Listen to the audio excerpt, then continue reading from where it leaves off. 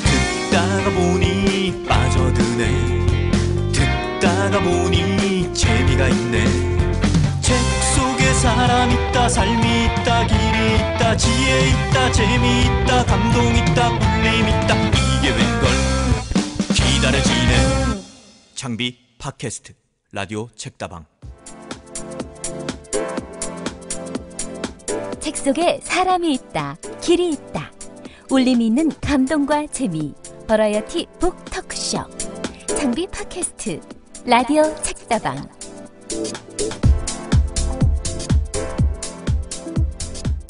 안녕하세요. 김두식입니다.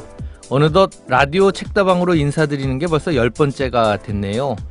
두근거리고 설레는 마음으로 첫 인사를 드렸던 게 엊그제 같은데 벌써 다섯 달이 지났습니다. 그동안 책다방을 통해서 정말 좋은 분들을 많이 만났고요. 흔히 만나기 어려운 작가들을 뵙고 술자리 뒤에서 막 막말하시는 것도 좀 듣고 공개적으로 하지 못하는 그런 이야기에서 제가 얻은 지혜가 참 많았습니다. 캐릭터를 알고 나니까 책을 읽는 것도 훨씬 더 재밌었고요. 개인적으로는 짧은 시간에 많은 책을 읽은 것이 무엇보다 큰 소득이었던 것 같습니다. 만나기 전에 그분들의 작품을 모두 다 읽어야 되겠다는 그런 강박에 시달리기도 했고 또 이렇게 예전에 읽은 책들이 왜 이렇게 하나도 생각이 나질 않는지 다시 읽으면서 아 나이 들어서 읽는 책은 아, 또 다르구나 하는 그런 느낌을 새로 갖게 된 것도 좋았습니다. 책에 쫓겨 살면서 행복한 비명을 질렀던 시간이었고요. 10번을 잘 지냈으니까 앞으로도 최소한 10번은 더 독자, 청취자 여러분을 만날 기회가 생겼다는 생각을 갖고 좀 더 열심히 해보도록 하겠습니다. 자, 그럼 오늘 책다방문을 열겠습니다.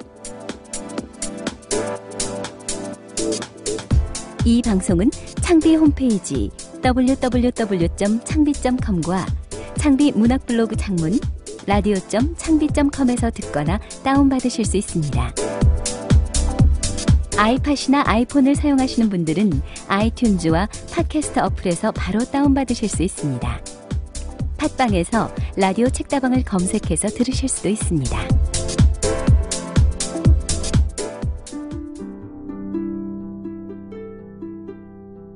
밖으로 간 시. 안녕하세요. 소설 쓰는 황정은입니다. 오늘 소개해 드릴 시는요, 박성우 시인의 소낙비입니다. 요 며칠 비가 내렸는데요. 어, 시인이 이 비가 내리는 동안에 시를 녹음해서 보내주셨습니다. 들어보면 아시겠지만 왠지 시인이 웃는 얼굴로 낭송하는 것 같은 어조가 있는데요.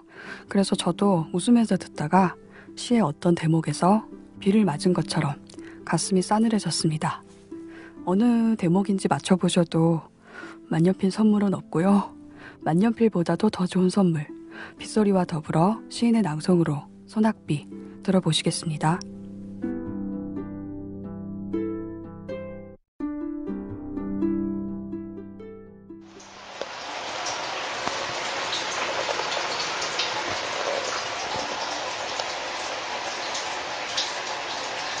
소낙비 박성우 노모는 지팡이 삼아 유모차를 밀고 다닌다. 노모가 유모차를 몰고 대문 나서자 딸애가 얼른 유모차에 올라앉는다. 노모와 다섯 살 딸애는 옥수수 밭길을 지나 늙은 은행나무 밑 그늘로 들어선다. 평사 마을에 간 돌담길을 지나 면 소재지 전방 쪽으로 점점 멀어져 간다. 집으로 돌아온 나는 마루에 엎드려 날짜 지난 신문을 읽는다. 후다닥, 후다다닥. 마당으로 뒤쳐둔 소낙비가 뛰쳐나간다. 후다닥, 후다다닥, 후다닥, 후다다닥. 대문 밀치고 나선 나도 우산 들고 뛴다. 면 소재지 산회 한우회관 처마 밑에 노모와 딸애가 소낙비를 피해 서 있다. 처말할 것도 없는 처마는 높고 짧다. 노모도 딸에도 유모차도 콘크리트 벽에 붙은 벽보처럼 젖고 있다. 딸애가 나를 알아보고는 쭈쭈발을 흔든다. 흠씬 젖고 있는 노모와 딸애와 유모차를 산외 한우회관 벽에서 떼어 집으로 간다. 아내는 소낙비 그친 마당에 옥수수 수염을 널고 있다.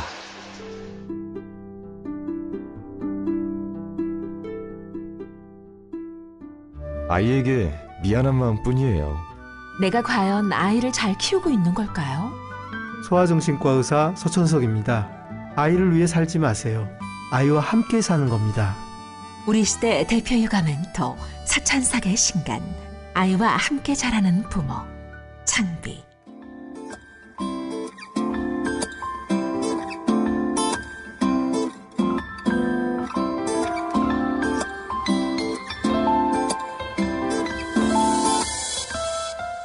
십 10회차를 맞아서요. 오늘도 오랜만에 우리가 자유 토크를 한번 해보겠습니다. 아, 황정은 작가 나와주셨고요. 네, 안녕하세요. 소설 쓰는 황정은입니다.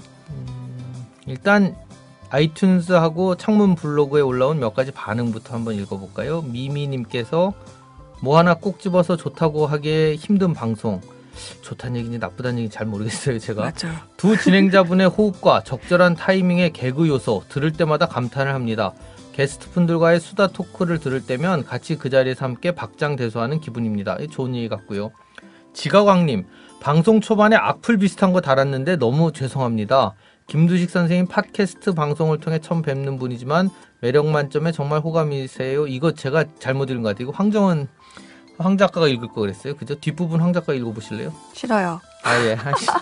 제가 계속 이렇게 읽어드려요? 예, 읽어주세요. 이 제가 읽기 너무 민망해서 예.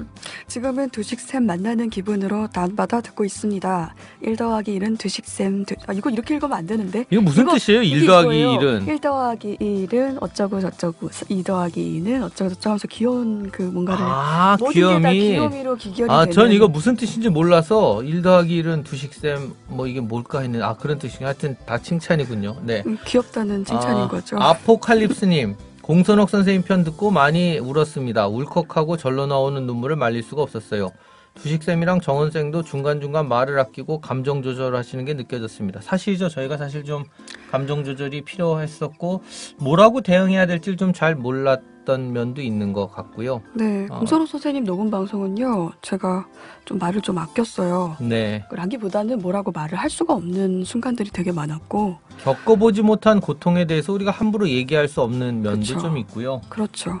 그걸 또 방송 해보자고 뭐 더 얘기를 더 해보시라고 뭘 물을 수도 없었고, 그렇죠. 그것도 외람된 얘기인데, 선생님께서 그렇게 얘기를 하시다가, 그냥 어느 순간에 이렇게, 이건 비유적인 의미로 받아들여 주세요. 외람된 얘기지만, 얘기를 하시다가 어느 순간에 그냥 팍 죽어버릴 것 같은 그런 느낌? 그러니까 앞에 불덩어리 하나가 앉아 있는 것 같은 그런 느낌이 들더라고요. 네, 네. 그래서 그만큼 듣는 사람이 압도됐다는 얘기인데, 음, 말을 잘 못하겠더라고요. 이게 저희가 한 10회가 넘도록 진행하면서 느끼게 되는 것이기도 한데요. 뭐냐면 예를 들면 김두식 너무 많이 혼나고 있다라든지 이런 얘기가 근데 실제 음. 우리가 이 분위기에선 그렇지는 않잖아요. 그런데도 그렇죠. 예를 들면 이 자리에 나온 작가들의 어떤 태도에 대해서 너무 음, 그러니까 좀 예의 예의를 안 지키는 거 아니냐 같은 그런 반응이 나오기도. 그 사실 선생님에게 그런 어필이 들어오는 경우가 있는 네, 그러니까, 아니, 그러니까. 아니, 그러니까 제가 예의를 안 지킨다는 게 아니고 음, 작가분들이 진행자들을 너무 뭐 이렇게 하대하는 거 아니에요. 사실 전혀 그런 분위기가 아닌데 이 안에서는 그렇죠. 방송이 목소리만 전달되다 보면 또 그런 반응이 있는 것 같기도 하고요. 지난 방송에서 선생님께서 염려하셨던 게 마지막에 그런 멘트 하셨잖아요. 이게 잘 전달이 됐으면 좋겠다. 음, 눈빛을 전달해 줄 수 없는 게 매번 참 좀. 매번 그런 게 있는 것 같고요. 음. 어, 한열 번쯤 진행하면서 어떤 거 느끼셨어요, 우리 황 작가는? 저요. 어, 저는 힘들었던 때 뭐 이런 거? 힘들었던 거 되게 많았죠. 네, 예, 네, 많았습니다. 뭐 이- 솔, 솔직히 솔직히 얘기하라고 바깥에서 막 그러는데 네. 아, 뭐 되게 약간의 좀 내면이 파괴되는 듯한 그런 경험도 했고 어떤 거죠? 아, 뭘 물어보세요. 웃음소리가 가식적이라는데 어떡할까? 아 가식적 그 난- 가식적이란 되게, 되게 단어가 트라우마였다니까요. 그 황정은 작가의 머리에 각인이 돼서 이게 사라지질 못하는 것 같아요. 저 예. 완- 완전 처음에는 그거 그런 반응 듣고서 음, 아 내가 정말 가식적으로 웃고 있나 그래서 되게 조심스럽고 이랬는데 집에서도 웃다가 갑자기 동생한테 야 나 방금 가식적이었니 이런 거 물어보고 그랬는데 세상에 되게 트라우마였다니까요 그랬는데 이제는 나 완전 가식적으로 더 웃어버려야지 막 이런 생각도 들기도 하고 어, 방송 더 기능이 그만큼 어려운 거죠. 정확히 전달되기가. 네 그렇게 훈훈하게 마무리해 주시니 고맙습니다 네 그리고 제 저는 글을 쓰는 사람이잖아요 그래서 글도 이제 허구적인 장르의 글을 쓰고 있는 건데 이게 지금 방송에서 얘기를 할 땐 내가 너무 발랄하게 얘기를 하고 있는 게 아닌가 음, 제가 쓰고 있는 글하고 좀 톤이 맞질 않아서 나의 이 실제 목소리가 글의 어떤 누를 어떤 이렇게 발목을 잡고 있는 게 아닌가 이런 걱정을 좀 했는데 어, 황정은 작가의 소설이 갖는 어떤 묵직한 네. 느낌 아, 같은 좀 거. 어두운 정서가 쭉 있어요. 밑으로 가라앉으면서 밑에 아주 네. 그 깊은 앙금 같은 정서가 있죠. 깊은 바닷물 아래에 이렇게 짙게 깔려 있는 어떤 그런 느낌이 있는데 네. 목소리가 너무 경쾌하고 밝고 발랄한 게 아닌가 하는 어, 그런 네. 불일치 그런 걸 네, 얘기하시는 그러니까 거군요. 제가 말하는 내용이 이렇게 농담도 던지고 하다 보니까 음, 지난 시간에 신경 선생님 시간에 제가 뭐 약간 흐르는 분위기에 맞춰서 그냥 분신사바 막 이런 거 어, 얘기하고 분신사바, 그랬는데 어, 저 그거 좋았어요. 예, 분신사바. 어 그런 거 어. 너무 발랄하게 가고 있나라는 그런 생각이 좀 들었는데 그래서 제가 예전에 문장의 소리라는 그 라디오를 진행했 던 적이 있는데 음. 그 방송은 어떻게 진행했나 해서 들어왔어요 다시 아, 내가 그 내가 좀 이상해졌나 싶어서 네. 지금 이 창비 라디오 네, 책다방을 책다방에 하면서 와서 그걸 너무 고민을 하게 돼가지고 네. 내가 너무 발랄하게 굴고 있나라는 아. 생각이 들어서 어, 문장의 소리를 들어봤더니 그때 이미 그러고 있었더라고요. 제가 아, 옛날에 할 때도요. 그때 어, 이미- 역시 밝고 경쾌하더라.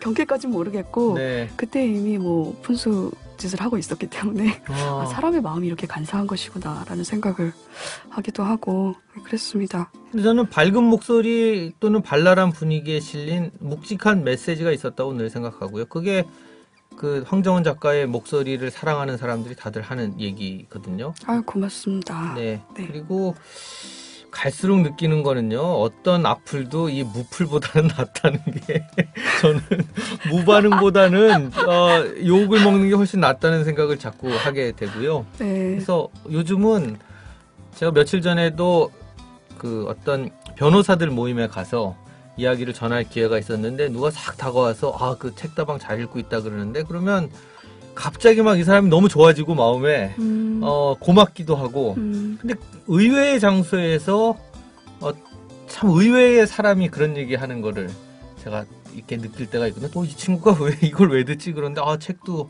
많이 읽은 느낌도 들고 같이 하다 보면은 되게 재밌다는 얘기 들으면 참 고맙더라고요. 그게 예전과 다른 아, 저의 그런 느낌이고요. 살아갈 기정님 지난 방송 때 작은 코너들이 사라져서 묻지마 개편인가 했는데 코너를 정비하셨더라. 아, 역사가 디지털화 되어 간다는 황정은 작가님의 이야기가 계속 귓가를 맴돕니다. 어, 이런 얘기를 하셨었나요? 네 유사한 얘기를 했는데요. 네. 역사가 디지털화 되어 간다는 얘기는 아니었고 음, 그냥 그 당시에 제가 하고 있던 생각을 그냥 얘기를 한 건데 그 디지털적인 면이 있다는 이야기였어요. 역사라는 것에 네. 디지털적인 것이 0과 1 사이의 사소한 차이들을 다 없애버리고 0과 1만 남기는 작업이거든요. 음, 근데 그것처럼 그 수많은 개인사들이 어떤 시대 궤적으로 정리가 되면서 아, 묻혀버리고 사라져버리고 많은 그런 것들 네. 너무나 큰 슬픔, 고통 혹은 뭐, 뭐 그런 것들이 있는데 그런 의미로 얘기를 한 네, 역사의 네. 디지털화. 음, 네. 그런 이야기들을 했던 것이고요. 뭐 구체적인 얘기 해도 되나요? 네. 너무 길어지나? 괜찮아요. 뭐 예를 들어 6.25에 관련된 이야기인데 6.25 뭐 음, 간편하게는 네이버 검색 엔진에서 검색을 해보면 1950년에 시작해서 뭐 3년, 네. 1953년까지 기간이 나오고 뭐 이런 것들 간단한 개요 같은 거, 역사적 개요 같은 그런 게 나오는데 제가 들은 이야기 중에 호미 할머니 얘기가 있어요. 음, 이 할머니가 아, 근데 이 얘기는 안 하는 게 낫겠다. 너무 길어질 것 같아 아. 얘기가. 되게 긴 얘기라서. 다음에 하죠. 그러면 네, 네, 다음에. 아 그러면 역사의 디지털화 얘기는 다음부터는 이런 얘기를 좀 길게 할 수 있는 기회가 있는 게 지금 우리 살아갈 기정님이 묻지마 개편 얘기를 하셔서 우리가 사실 좀 찔리는데요.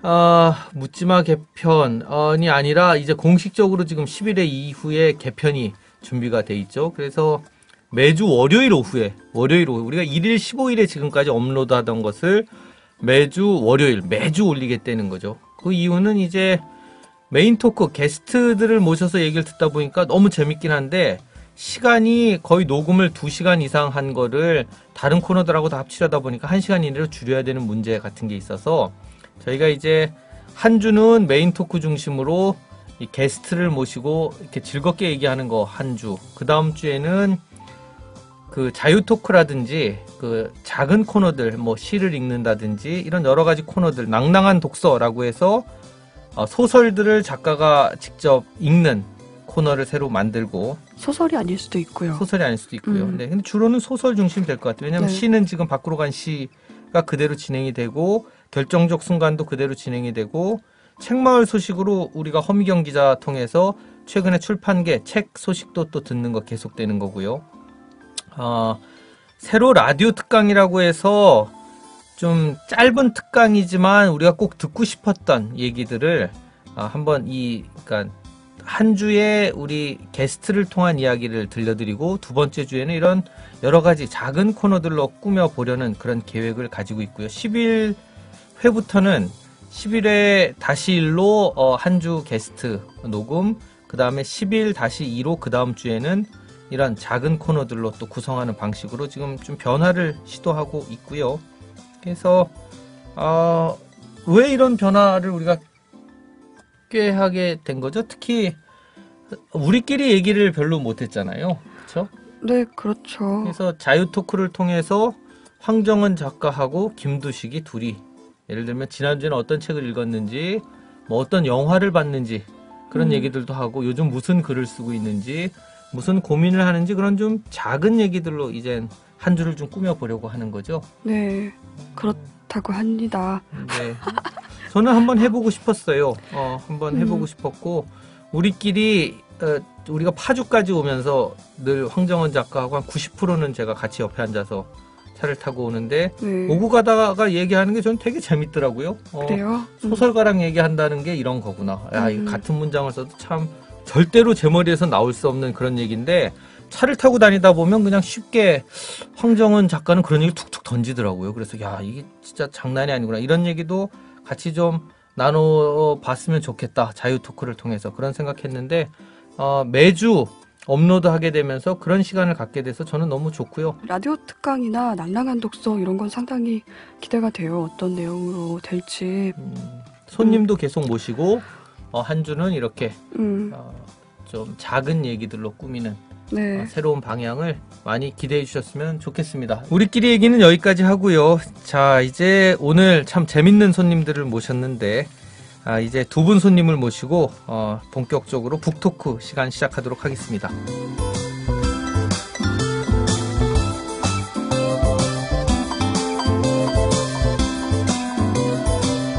네, 그동안 북토크에서는 이 작가들을 주로 많이 모셨었죠. 근데 오늘은 독자와 평론가의 중간쯤 되는 위치에서 이름을 달린 어, 아주 날린 두 분을 모셨고요.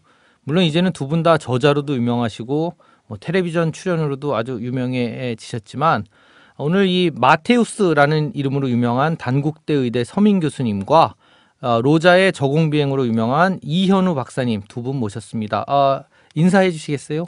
아, 예, 안녕하세요. 서민이라고 합니다. 자기소개도 간단하게 좀 아. 해주시죠. 예, 저 기생충 박사가 우리나라에 저밖에 없다고 생각하는 분들이 많이 계신데요. 한 300명 정도 됩니다. 그리고 기생충 교수는 50명이나 되고요. 저는 그 중에 하나입니다. 네. 저는 좀 나대는 기생충 교수. 네. 아, 참. 서평, 아, 저그로 저자로 유명하지는 않습니다. 저는 제, 제가 낸 책들은 되게 안 팔리고 저기 품절됐고요. 책을 많이 쓰셨죠, 그래도. 예, 저기 안 된다는 걸 알고 2005년에 이제 집필을 중단하고 그다음부터 이제 서평으로 남 까는 거 이런 걸로 살고 있습니다. 네. 어, 이현우 박사님. 예, 저는 어, 소개해 주신 대로 블로그 로 제 저공 비행을 운영하고 있고요.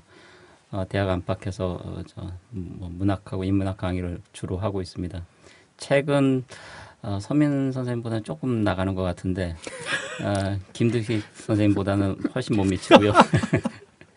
어, 한 어, 일곱 권 정도 책을 냈습니다. 예. 네, 로자의 인문학서재 책을 읽을 자유, 로자와 함께 읽는 지적, 애도와 우울증, 로자의 세계문학 다시 읽기, 그래도 책 읽기는 계속된다. 아주 사적인 독서. 이게 아주 사적인 독서가 가장 최근에 나온 책이죠. 예, 예. 네, 리뷰어로서 최고의 지위를 누리고 계신 이현우 선생님 나와주셨고요. 그 다음에 변함없이 오늘도 네, 안녕하세요. 소설 쓰는 황정은입니다. 네, 아 선생님 저 근데 아까 제 저서는 언급을 안 해주고 제가 아, 언급할까요? 네, 수민 제가 선생님 쓴 책은 네 어, 그 저기 죄송한데요. 네. 제 파일에 이게 기생충의 변명, 대통령과 기생충, 헬리코박터를 위한 변명 등의 책을 내셨고요. 네. 음. 그 그다음에- 책들이 희귀본이어가지고요.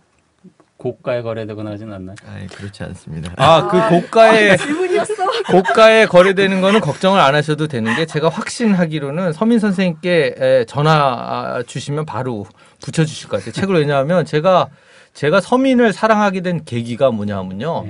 예. 예전에 어떤 알라딘 서재 시대가 있지 않았습니까? 지금도 물론 그렇지만 네. 알라딘 서재에서 제가 마테우스를 사랑한 이유는 마테우스가 어느 시점에 이런 글을 올리셨어요. 뭐 나는 오늘도 교보문고에 가서 내 책을 뭐 세 권 사가지고 왔다.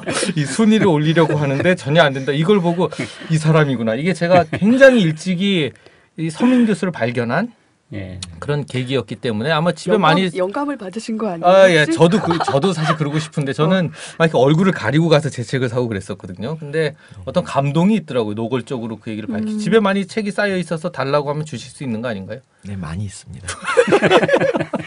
저도 한 권. 아 이게 절판된 책들을 다 갖고 계신 거예요? 네 절판된 이유가 제가 다 사서 그래요.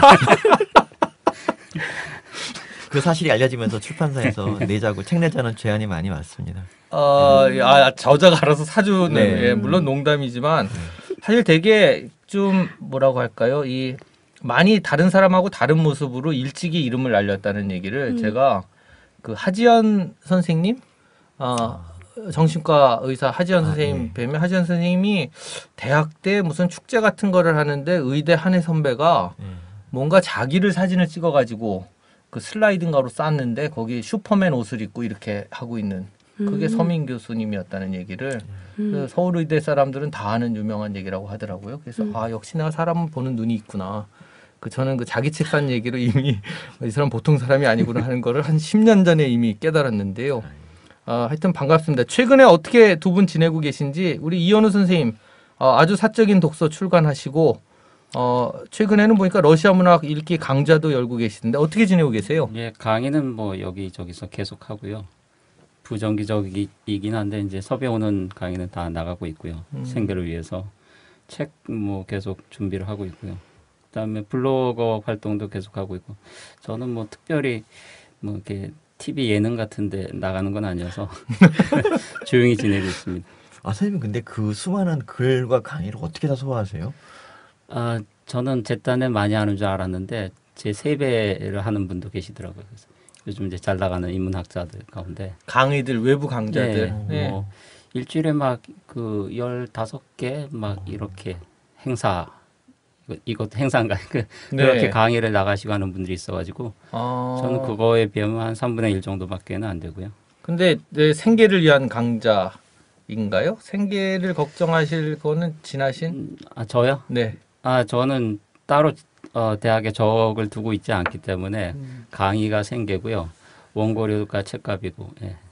아 원고료 음. 받은 거는 책을 사셔야 네, 네. 되고. 예, 예. 어, 저는 사실 이현우 선생님은 책 안 사시는 줄 알았어요. 출판사에서 다 아. 보내주기 때문에 어. 제가 정말 이거 제일 먼저 여쭤보고 싶었는데 집에 책이 일주일에 한 200권이 와가지고 어디 쌓아둘 데가 없어서 아, 주변에 다 나눠주면서 살고 음, 있는. 그 정도까지는 아니고요.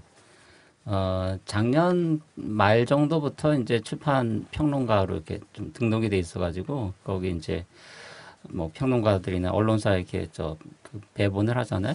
그래서 일부 어, 책들이 오는데 그래도 뭐 일주일에 한 2, 30권 그 음, 정도고 상당한 분량이네요. 아. 그 정도 분량을 제가 사요. 그래서 아. 작년에 아 요새 연말 소득 그 신고하는 것 때문에 저 알게 된 건데 작년에 제가 한 3, 4천 정도를 샀어요 책을. 3, 4천만 원어치? 책을. 예, 예. 아, 원 권이 네, 아니라 그래서 원. 아 어. 이게 이게 대회비였는데 소득 정산하는 바람에 이게 다 들통이 나가지고. 음. 예. 근데 책상계 왜 소득에 나오나요? 그게? 아니요 아니, 그러니까 신용카드 사고 신고를 하려 그랬으면 하니까 이제 저 나오잖아요. 같은 경우에는 이제 필요 경비로 좀 빼려고 하니까 아하. 그거를 좀 사실 종합소득세 네, 같은 거할 네, 때. 종합소득세 네. 할 때 안 그러면 이제 소득이 많은 걸로 되잖아요. 그렇죠, 그렇죠. 네, 소득을 그래서- 주, 줄여야 네, 세금이 네, 그래서 약간이라도 주니까. 이런 지출이 많았다라는 걸 좀 보여주기 위해서 그 뒤졌더니 어, 이게 좀 너무 많이 나왔어요. 그, 그 많은 책들을 다 어떻게 하세요? 집에 쌓아두시나요? 예, 쌓아두고 있어요. 어, 와, 그러면은 뭐, 그냥, 아, 그러니까 어떻게 좀 정리는 하지 않으시고요? 정리가 안 되고요. 주기적으로 뭐, 방에 있는 책 못 찾아서 이제 어, 세 번씩 사고 어, 어. 그거 어떻게 하세요? 그냥 다 두세요, 거기다가?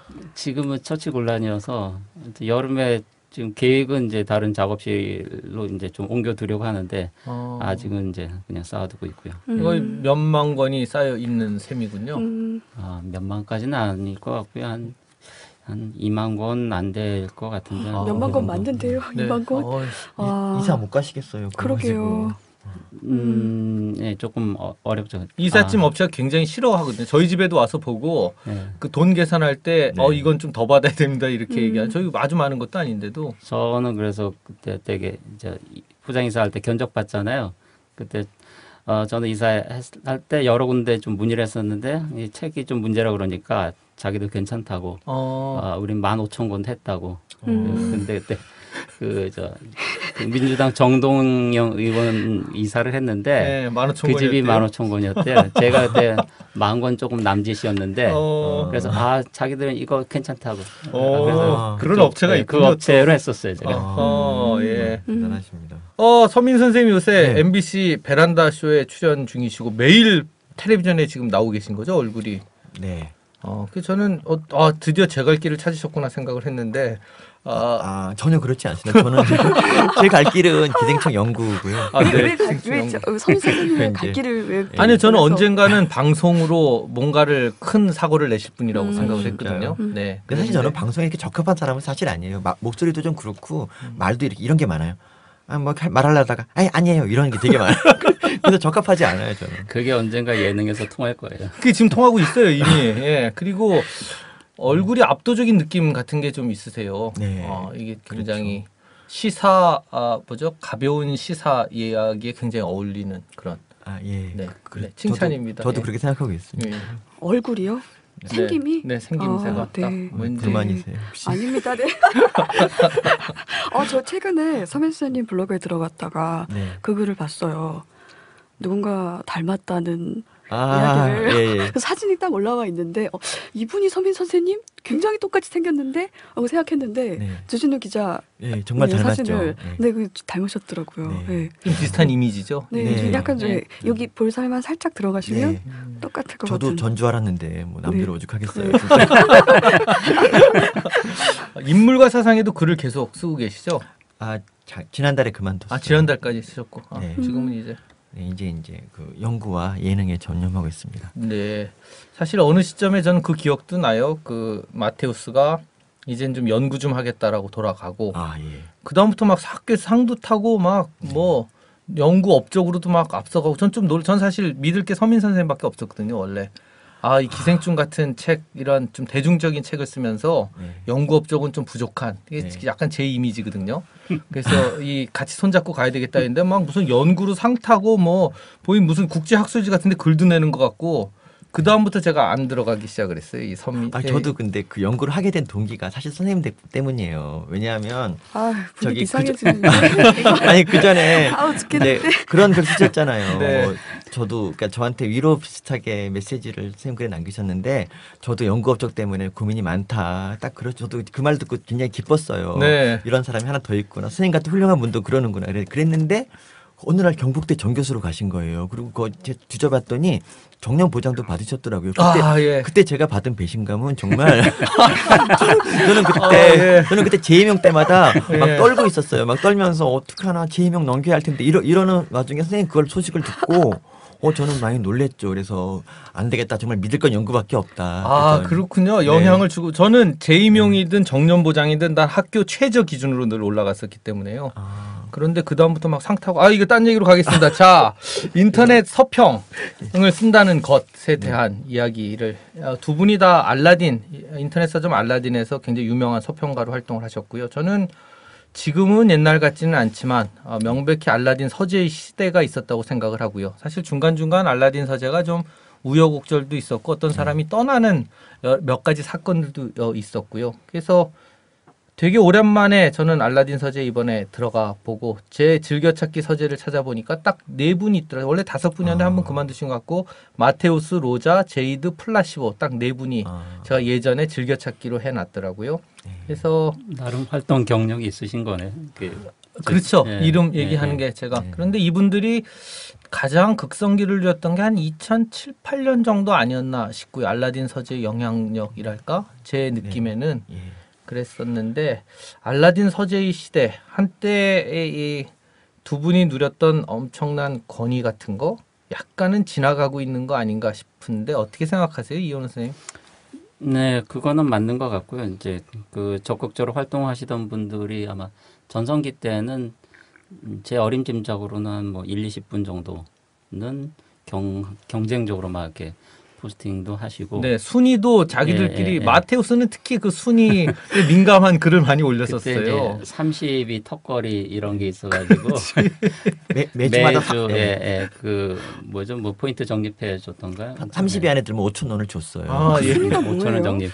그러니까 인기가 많은 인- 서재 인기 순인 순위? 거죠. 글 많이 오. 쓰고 저- 댓글 아, 많이 달리고 이런. 알라딘은 서재 지수가 있는데 이제 뭐 댓글이나 아니면 posting한 거를 다 이렇게 점수화해요. 그래서 음. 이제 서재 지수를 가지고 매주 이제 활동량이 많은 사람 30위 그거 이제 조금 과열돼 가지고 없어지긴 했어요. 음. 왜냐면 그 올라가기 전에 뭐 일요일 뭐 밤이든가 막 급조해 가지고 막 그 포스팅을 많이 하고 뭐 그런 부작용 때문에 없어지긴 했는데 여하튼 그때 주로 활동하시던 분들이 어, 지금 다 뭐 그 다른 곳에서 또 활동을 하시는 분들이에요. 근데 어, 그런 시절이 있었기 때문에 상대적으로 조금 지금 좀 침체돼 있다는 뭐 그런 인상을 이렇게 좀 거기 봤죠. 예. 거기 활동하던 분들 중에서 이렇게 등단하신 분도 계시고 음. 이렇게 하나 둘씩 책을 내고 그러셔서 되게 좋았기도 하고 음. 이제 저는 그때만 해도 제가 저서 수가 제일 많았는데 하나 서재인 서재 하시는 분들이 하나 둘씩 책을 내면서 이제 점점 떠나고 이렇게 더 많은 좋은 책을 많이 내고 예를 들면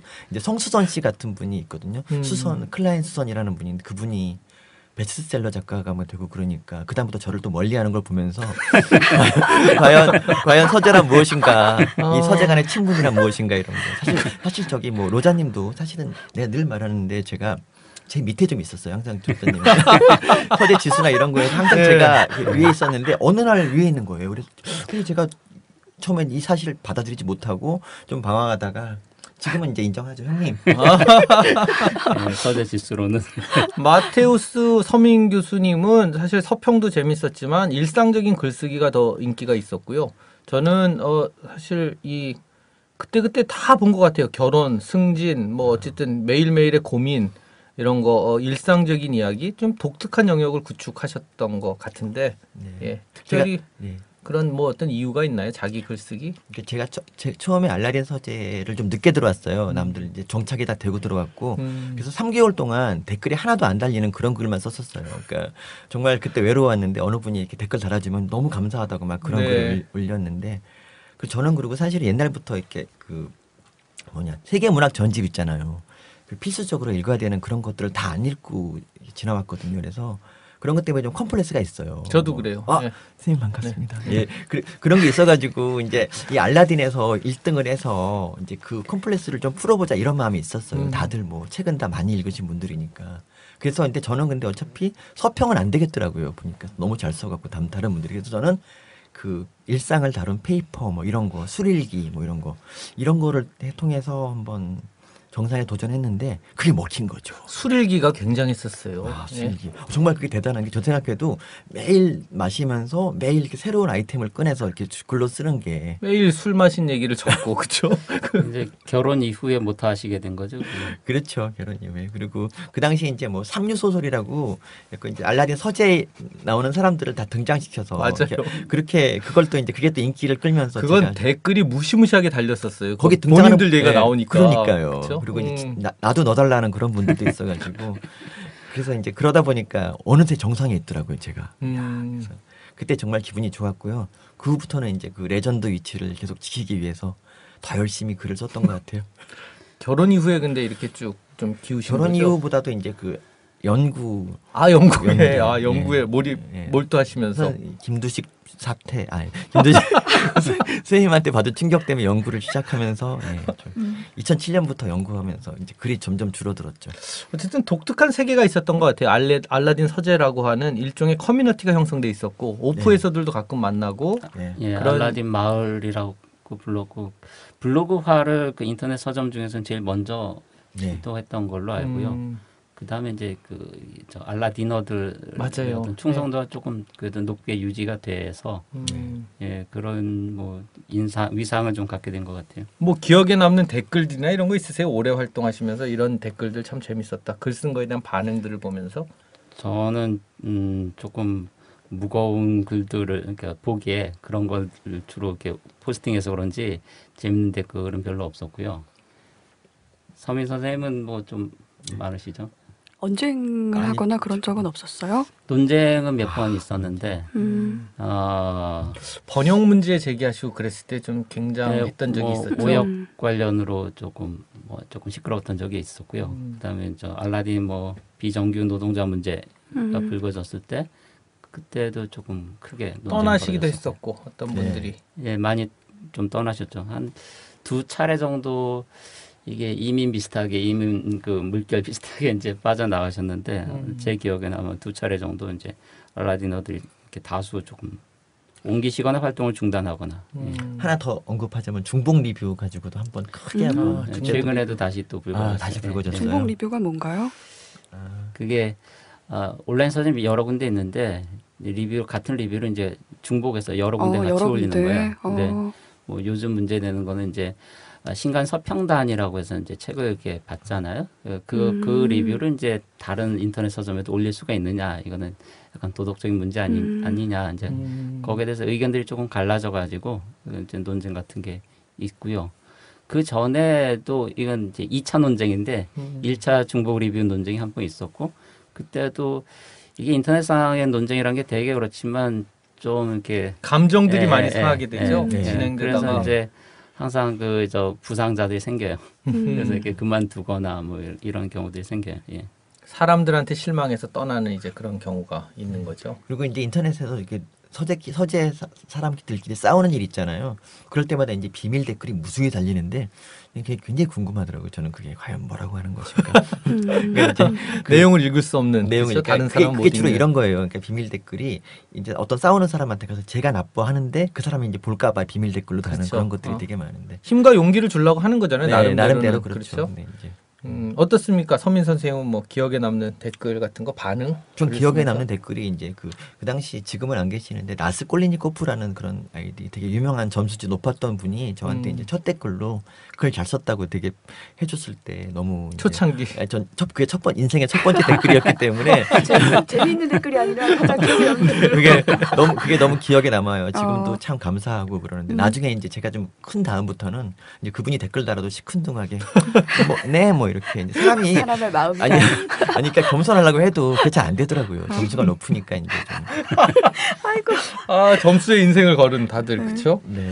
음, 자기 말고 좀 주목할 만한 서평자 블로거 이건 꼭 알라딘에 국한된 게 아니고 이렇게 좀 독자로서 어, 서평을 쓰는 분들 중에 좀 눈에 띄는 분들은 어떤 분들이 있습니까? 아, 저는 뭐 개인적으로는 다른 뭐 저 온라인 서점은 잘 모르고요. 어떤 음. 커뮤니티가 형성돼 있는지 알라딘은 익숙해가지고 이제 들어가면은 대충 그렇게 감을 잡을 수가 있는데 누가 활동을 하고 음. 누가 뭐 이렇게 괜찮은 리뷰를 올리고 하는지 알 수가 있는데 다른 데는 잘 모르겠더라고요. 그래서 제가 아는 블로거들은 대부분 이제 알라디너들인데 네.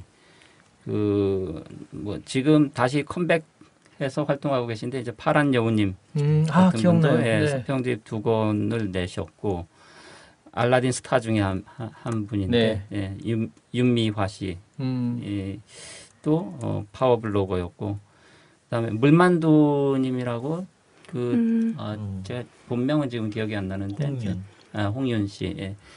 주로 장르 쪽 소설 읽고 추리 소설 쪽 음. 리뷰를 음. 쓰셨고 그 이제 원래 약간 투병 음. 중이셨는데 그 그래서 어쨌든 지금은 이제 그, 그, 이 세상을 떠났는데 이후에 알라딘에서는 이제 추모 어, 그 문집도 내고 어 아예 그 저 리뷰 상도 만들었어요. 어, 음. 물만두 리뷰 상 해서 이제 장르 소설에 대한 리뷰 가운데 이제 뭐 그 선정해 가지고 이렇게 매년 진행되는 하는. 거예요? 매년 하죠. 제가 네. 장르 문학을 제가 잘 안 봐서 그러긴 한데 음. 어떤 그 정도의 뭐 뭐랄까 그 어떤 흐름 같은 것걸 이렇게 만든 리뷰어도 있고 그다음에 뭐 개인적으로 좀 잘하는 아, 그 리뷰어들 중에는 활동가 중에는 예전에 그 초창기에 바람구두님 있었잖아요. 네. 어, 바람구두님. 예. 그 지금 황해문화 그 편집장 하는 이제 전송원. 전성원 예, 선생님. 예, 트위터에서 열심히 글을 쓰고 계시고요. 네. 예. 서민 선생 어떠세요? 이 주목할 만한 블로거 자기 말고 또는 서평자 누가 저, 말, 있었을까요? 저 말 고 특별히 주목할 사람이 있을까? 내가 저런 전 대답 나올 줄 알았어. 개인적으로는 저기 그 다락방님이라고 있어요. 네. 아, 다락방. 어. 다락방님 아세요? 네, 저도 몇 번 알라딘에서 만난 적 있는 네, 이름입니다. 저도 참 좋아하는데요, 다락방님. 근데 다락방님 서평이 이런 식이에요. 그러니까 저기 책을 읽다가 그 남자의 뭐 손등에 털이 나 있었다. 음. 그러면 난 털이 싫어 이런 서평. 딱 제 스타일이죠. 그게. 네. 예, 그러, 그러니까 저는 그런 서평을 좋아해요. 그러니까 책에 줄거리 같은 거 막 얘기하면서 깊이 막 이렇게 들어가는 거 제가 잘 못하는 부분이기도 하지만 그래서 그런 좀 쉽게 저한테 잘 다가오는 서평이 좋아요. 근데 다락방님이 그런 서평을 되게 잘하시더라고요. 음. 그래서 저는 개인적으로 그 인터넷 서평의 그 장점 같아요. 굉장히 다양하다라는 거. 네. 음. 그러니까 공식적인 서평이 아니기 때문에 그렇게 음. 무게 잡고 이렇게 쓰지 않아도 되거든요. 그리고 자기 색깔이 자유롭게. 그냥 들어오면 예, 되는 거예요. 예, 자기 예. 눈으로 보고 얘기하면 음. 돼. 그러니까 그런 게 여러 가지로 이제 보완을 좀 해줄 수 있는 거죠. 책의 이런저런 면들을 이렇게 다 음. 이렇게 뜯어볼 수 있게 해주기 때문에. 저는 이제 처음에 그리고 옛날에 이렇게 책 읽기를 시작하고 글, 이제 글을 쓰면 서평을 쓰면서 이제 이런 식으로 한 몇 년만 지나면 좀 어려운 책 있잖아요. 예를 들면 자본론 같은 거, 네. 뭐 이런 어려운 책도 이제 소화해낼 수 있을 거라 생각했는데 음. 그게 안 되더라고요. 그래서 좀 그걸 알고 굉장히 괴로웠었어요. 굉장히 그런데 그러니까 어떤 책을 어려운 책을 읽으면 이 책의 핵심은 뭐다라는 게 딱 머리에 떠올려야 되는데 전혀 모르겠는 그런 거 있잖아요. 그래서 네. 저는 이제 깊이는 포기하고 그냥 뭐 그때부터 제가 이제 좀 겉돌기 시작한 것 같아요. 그리고, 제가 그리고 저는 그리고 의학책 서평을 되게 좋아해요. 아니, 서평을 많이 쓰진 않았지만 의학책을 이제 많이 나오잖아요. 의학책이. 근데 의사들이 의학 의학에 관한 이제 그 고민들이 많이 담겨 있는데 우리 의대생들한테 물어보면 하나도 안 읽더라고요. 그런 거를. 원래 그런 책은 의대생이 주로 읽어야 되는데 주로 일반인만 읽는다는 그런 게 참 안타깝더라고요. 그래서 음. 아, 지금 이 서평자 얘기하는데 얘기는 안 맞지만 어쨌든 간에 그, 저는요 늘 네. 제가 가진 편견이 예.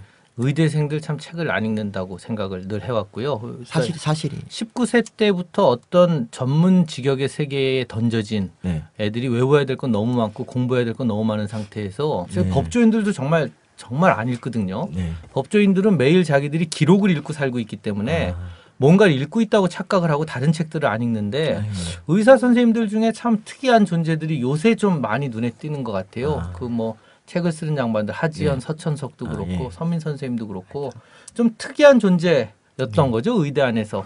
그렇죠. 아니 저는 하여튼 좀 안타까운 게 그러니까 이거 학생들이 읽으면 정말 좋은 의사가 되는데 도움이 되겠다 이런 책들이 좀 많이 나오거든요. 그 추천도 많이 하시잖아요. 예, 그래서 많이 학생들한테 하는데 교양 수업에 읽게도 하시고. 예, 읽게도 하는데 애들이 읽고 나서 괜히 읽었다 재미없다 이런 얘기하고 그리고 안 읽는 경우가 대부분이에요. 그러니까 너무 안타까운 거죠. 그래서 아, 그때 좀 책좀 읽으면 좋겠는데 최근에 이제 스마트폰이 나오면서 뭐 책 읽는 건 아예 이제 물 건너 간것 같아요, 애들이. 아 그렇죠. 그래서. 시간이 없다는 것도 사실은 좀 아닌 게 애들이 그 옛과 인연은 충분히 책을 읽을 수 있는데도 불구하고 안 읽더라고요. 네, 그때 또 좀 잠깐 동안에도 놀아야 된다는 생각 때문에 2년은 근데 놀기에 너무 긴 시간인데 사실은.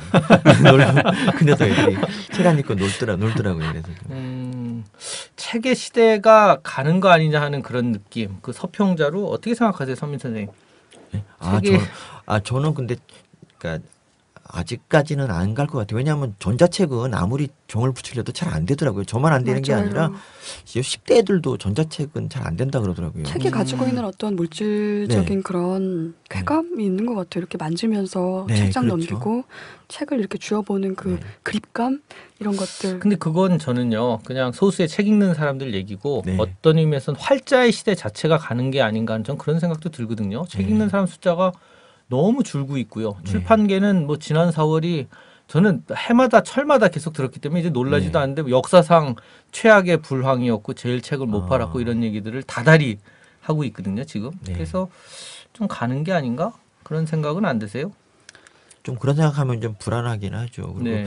근데 그, 그러면 미래가 없다고 생각하거든요. 저는 아, 책을 없다. 예. 그러니까 원래 이제 책이라는 게 사실은 그 이제 과학하는 사람들이 책을 읽어야 되는 이유 중에 하나가 책을 읽어야지 그 논문을 잘 쓸 수가 있어요. 그러니까 제가 갑자기 연구로 뜬 이유가 뭐냐면 그 제가 연구 시, 그러니까 실험은 잘 못해요. 제가 쥐 잡고 이런 거 잘 못하는데 예, 근데 글은 좀 되는. 글은 되니까 그게 네. 이제 그게 별거 아닌 데이터를 이게 포장을 논문으로 너무 잘 쓰는 거예요, 제가. 그, 그래서 막 그냥 그 고찰 같은 거 쓰는 거 정말 완전히 손이 날아다니게 쓰거든요. 그래, 그런 능력을 깨닫고 정말 아, 이래서 책을 읽어야 되는구나. 아. 죽자고 읽은 비결이, 읽은 보람이 있다. 이런 생각을 제가 했었어요. 그래서. 그래서 이- 제가 논문 논문 쓰기 책을 쓰셔야겠는데. 아니 논문 쓰기 아, 논문 쓰기를 책을 따로 읽을 필요가 없이 그냥 소설책만 많이 읽으면 그냥 곧 논문은 저절로 잘 써지는 것 같아요. 그래서 제가 음. 제가 2011년에 그 열, 12편의 논문을 쓸 수 있었던 비결이 바로 그 제가 들어본 자랑 중에 가장 살벌한 자랑인 것 같아요. 1년에 12편 쓰신. 예. 2011년이 그랬고요. 네. 2011년. 네. 뭐. 음, 승진을 바로 앞둔 시기. 아, 아니 그런 건 아니고. 그것도 아닌데. 그것도 아닌데 아, 그냥 야, 아니 한 번 이게 탄력이 붙으면 계속 계속, 이어지죠. 쓰게 돼요. 그래서 네. 올해 목표가 올해가 2013년이잖아요. 네. 13편이에요. 올해 목표. 이거 정말 훌륭하신데 정말 놀라. 어떻습니까? 활자의 시대. 네, 저도 뭐 그 그런 위기인 건 맞죠? 네. 추세는 좀 보이는 것 같은데 저도 서민 선생님 말씀하신 대로 어 제가 책 세대여서 그런지 모르겠지만 이북만 하더라도 좀 다르다는 생각이 들고 그 다음에 저는 그 이저 뇌과학자들 하는 얘기인데 지능이 떨어지는 것 같아요 일반 지능이 그러니까 이 미디어 세대들이 네. 그게 아 책이 3차원이다 이런 얘기가 있는데 미디어가 2차원 2차원이고 음. 뇌 활용 부위가 그 비교할 수 없을 정도로 이렇게 그 이렇게 적어요. 음. 그러니까 TV를 본다거나 그다음에 이렇게 게임을 한다거나 하는 아이들. 그러니까 그렇게 뇌를 방치하면 이제 말 그대로 백지 상태가 이렇게 되는 음. 거거든요. 그러니까 이건 한 세대 전체가 내지는 이제 인류 전체 그런 방향으로 이렇게 가고 있다고 한다면은 음. 그게 대세라 하더라도 어 저는 좀뭐 뭐라 뭐랄까 좀 비관적이라고 생각이 돼요. 음. 그러니까 근데 그 초등학교에서 죄송합니다. 초등학교에서도 아직도 책은 그러니까 교과서 배울 때 책으로 배우지 않습니까? 네. 저는 그게 전자로 바뀌지 않는 한은 책의 시대는 계속 있을 것 같은 아, 생각이. 처음에 어떤 접하는 네. 매체로서의 책이 계속 유지가 된다면 예. 근데 교과서도 전자적인 매체로 바꾸려, 바꾸려는 그런 움직임들이 움직임이 있지만 계속 있지 않나요? 되려면 한 20, 10년 이상은 걸리지 않을까요? 음. 그러니까 약간 시행착오 있어가지고 잘 안 돼서 그러는데. 네. 원래는 이제 가방 없는 학교 맞아요. 이런 거를 막 그러면서 하려고 그랬어요. 그 잘안 벌써 이미. 나왔습니다. 그게 그 네. 자기 애들 무거운 가방 메고 아, 다니게 하기 20년 아니고. 훨씬 빠를 수 있는 지금. 음. 예. 저는 최근에 본 프로그램에서 치매에 관한 프로그램이었거든요. 네. 텔레비전 프로그램이었는데 네. 거기서 아, 지금 뭐, 뭐 일반 그 지성이 떨어져 가고 있다라고 네. 말씀하시니까 어, 뇌를 활성화시키는 가장 좋은 방법이 일단은 어, TV 틀어놓는 거 그리고 그 다음 단계가 라디오 듣는 거 그리고 그 다음이 일기 쓰는 거 음. 그 다음이 책 읽는 거, 그 다음이 소리 내서 책을 읽는 거 이렇게 나가더라고요. 그러니까 뒤로 갈수록 더 많이 네. 쓰는 네. 단계가 네. 되는 거죠. 음. 네, 단계적으로 제일 낮은 거고. 네, 그게 네. 음. 수면 상태보다 조금 높대요. 텔레비전 보는 TV 게. 보는 게. 음, 음, 음. 그러니까 TV 보는 아이들이 거의 이제 백치밖에 안 되는 거예요. 그러니까 책을 안 읽으면은 뇌가 아주 그냥 미끈한 상태를 유지하면서 그렇게 사게 된다는 이야기. 그 영화 아일랜드라는 거 보면은 그, 그 복제 인간들을 만들어서 이제 장기 이식을 하는 거잖아요. 네. 근데 그 복제 인간들이 생각을 못 하게 하기 위해서 주로 이제 게임 같은 거를 막 시키거든요, 일부러. 음, 근데 지금의 우리 우리들은 점점 이제 복제 인간화처럼 되는 것 같아서 음. 게임을 하는 동안에 뇌에 거의 아무런 일이 일어나질 않는다고 그러더라고요. 어. 거의 활성화되지 않는다고 뇌가. 아, 그러니까 옛날에는 좀 그런 거 하면 부끄러워 부끄러운 그런 게 있었거든요. 근데 인터넷 휴대폰으로 고스톱을 치거나 이러면 되게 숨기고 쳤는데 요즘은 막 당당하게 치더라고요. 어, 심지어는 버스 안에서 한 손으로 잡고 한 손으로 막 핸드폰 게임을 스마트폰 하는. 만지면서 아, 저희 잠깐 아, 쉬었다가 아? 계속했으면 네. 좋겠는 게 에, 이유가 우리 왜요? 오늘 서민 선생님 계속 지금 책상을 치고 계셔가지고요. 아, 네. 여기 책상을 치면 안 된다는 말씀 이제 드려야 돼요. 책상을 책상을 치면은 위해서. 이게 저기 예, 울려가지고. 뒤에 아. 우리 UPD가 굉장히 괴로워하는 얼굴 저한테는 보이더니 아. 이거 한번 이렇게 치실 때마다 네. 예, 아이 재밌네. 잠깐 쉴까요? 네 잠깐 네, 쉬고 잠깐 계속 하도록 쉬겠습니다.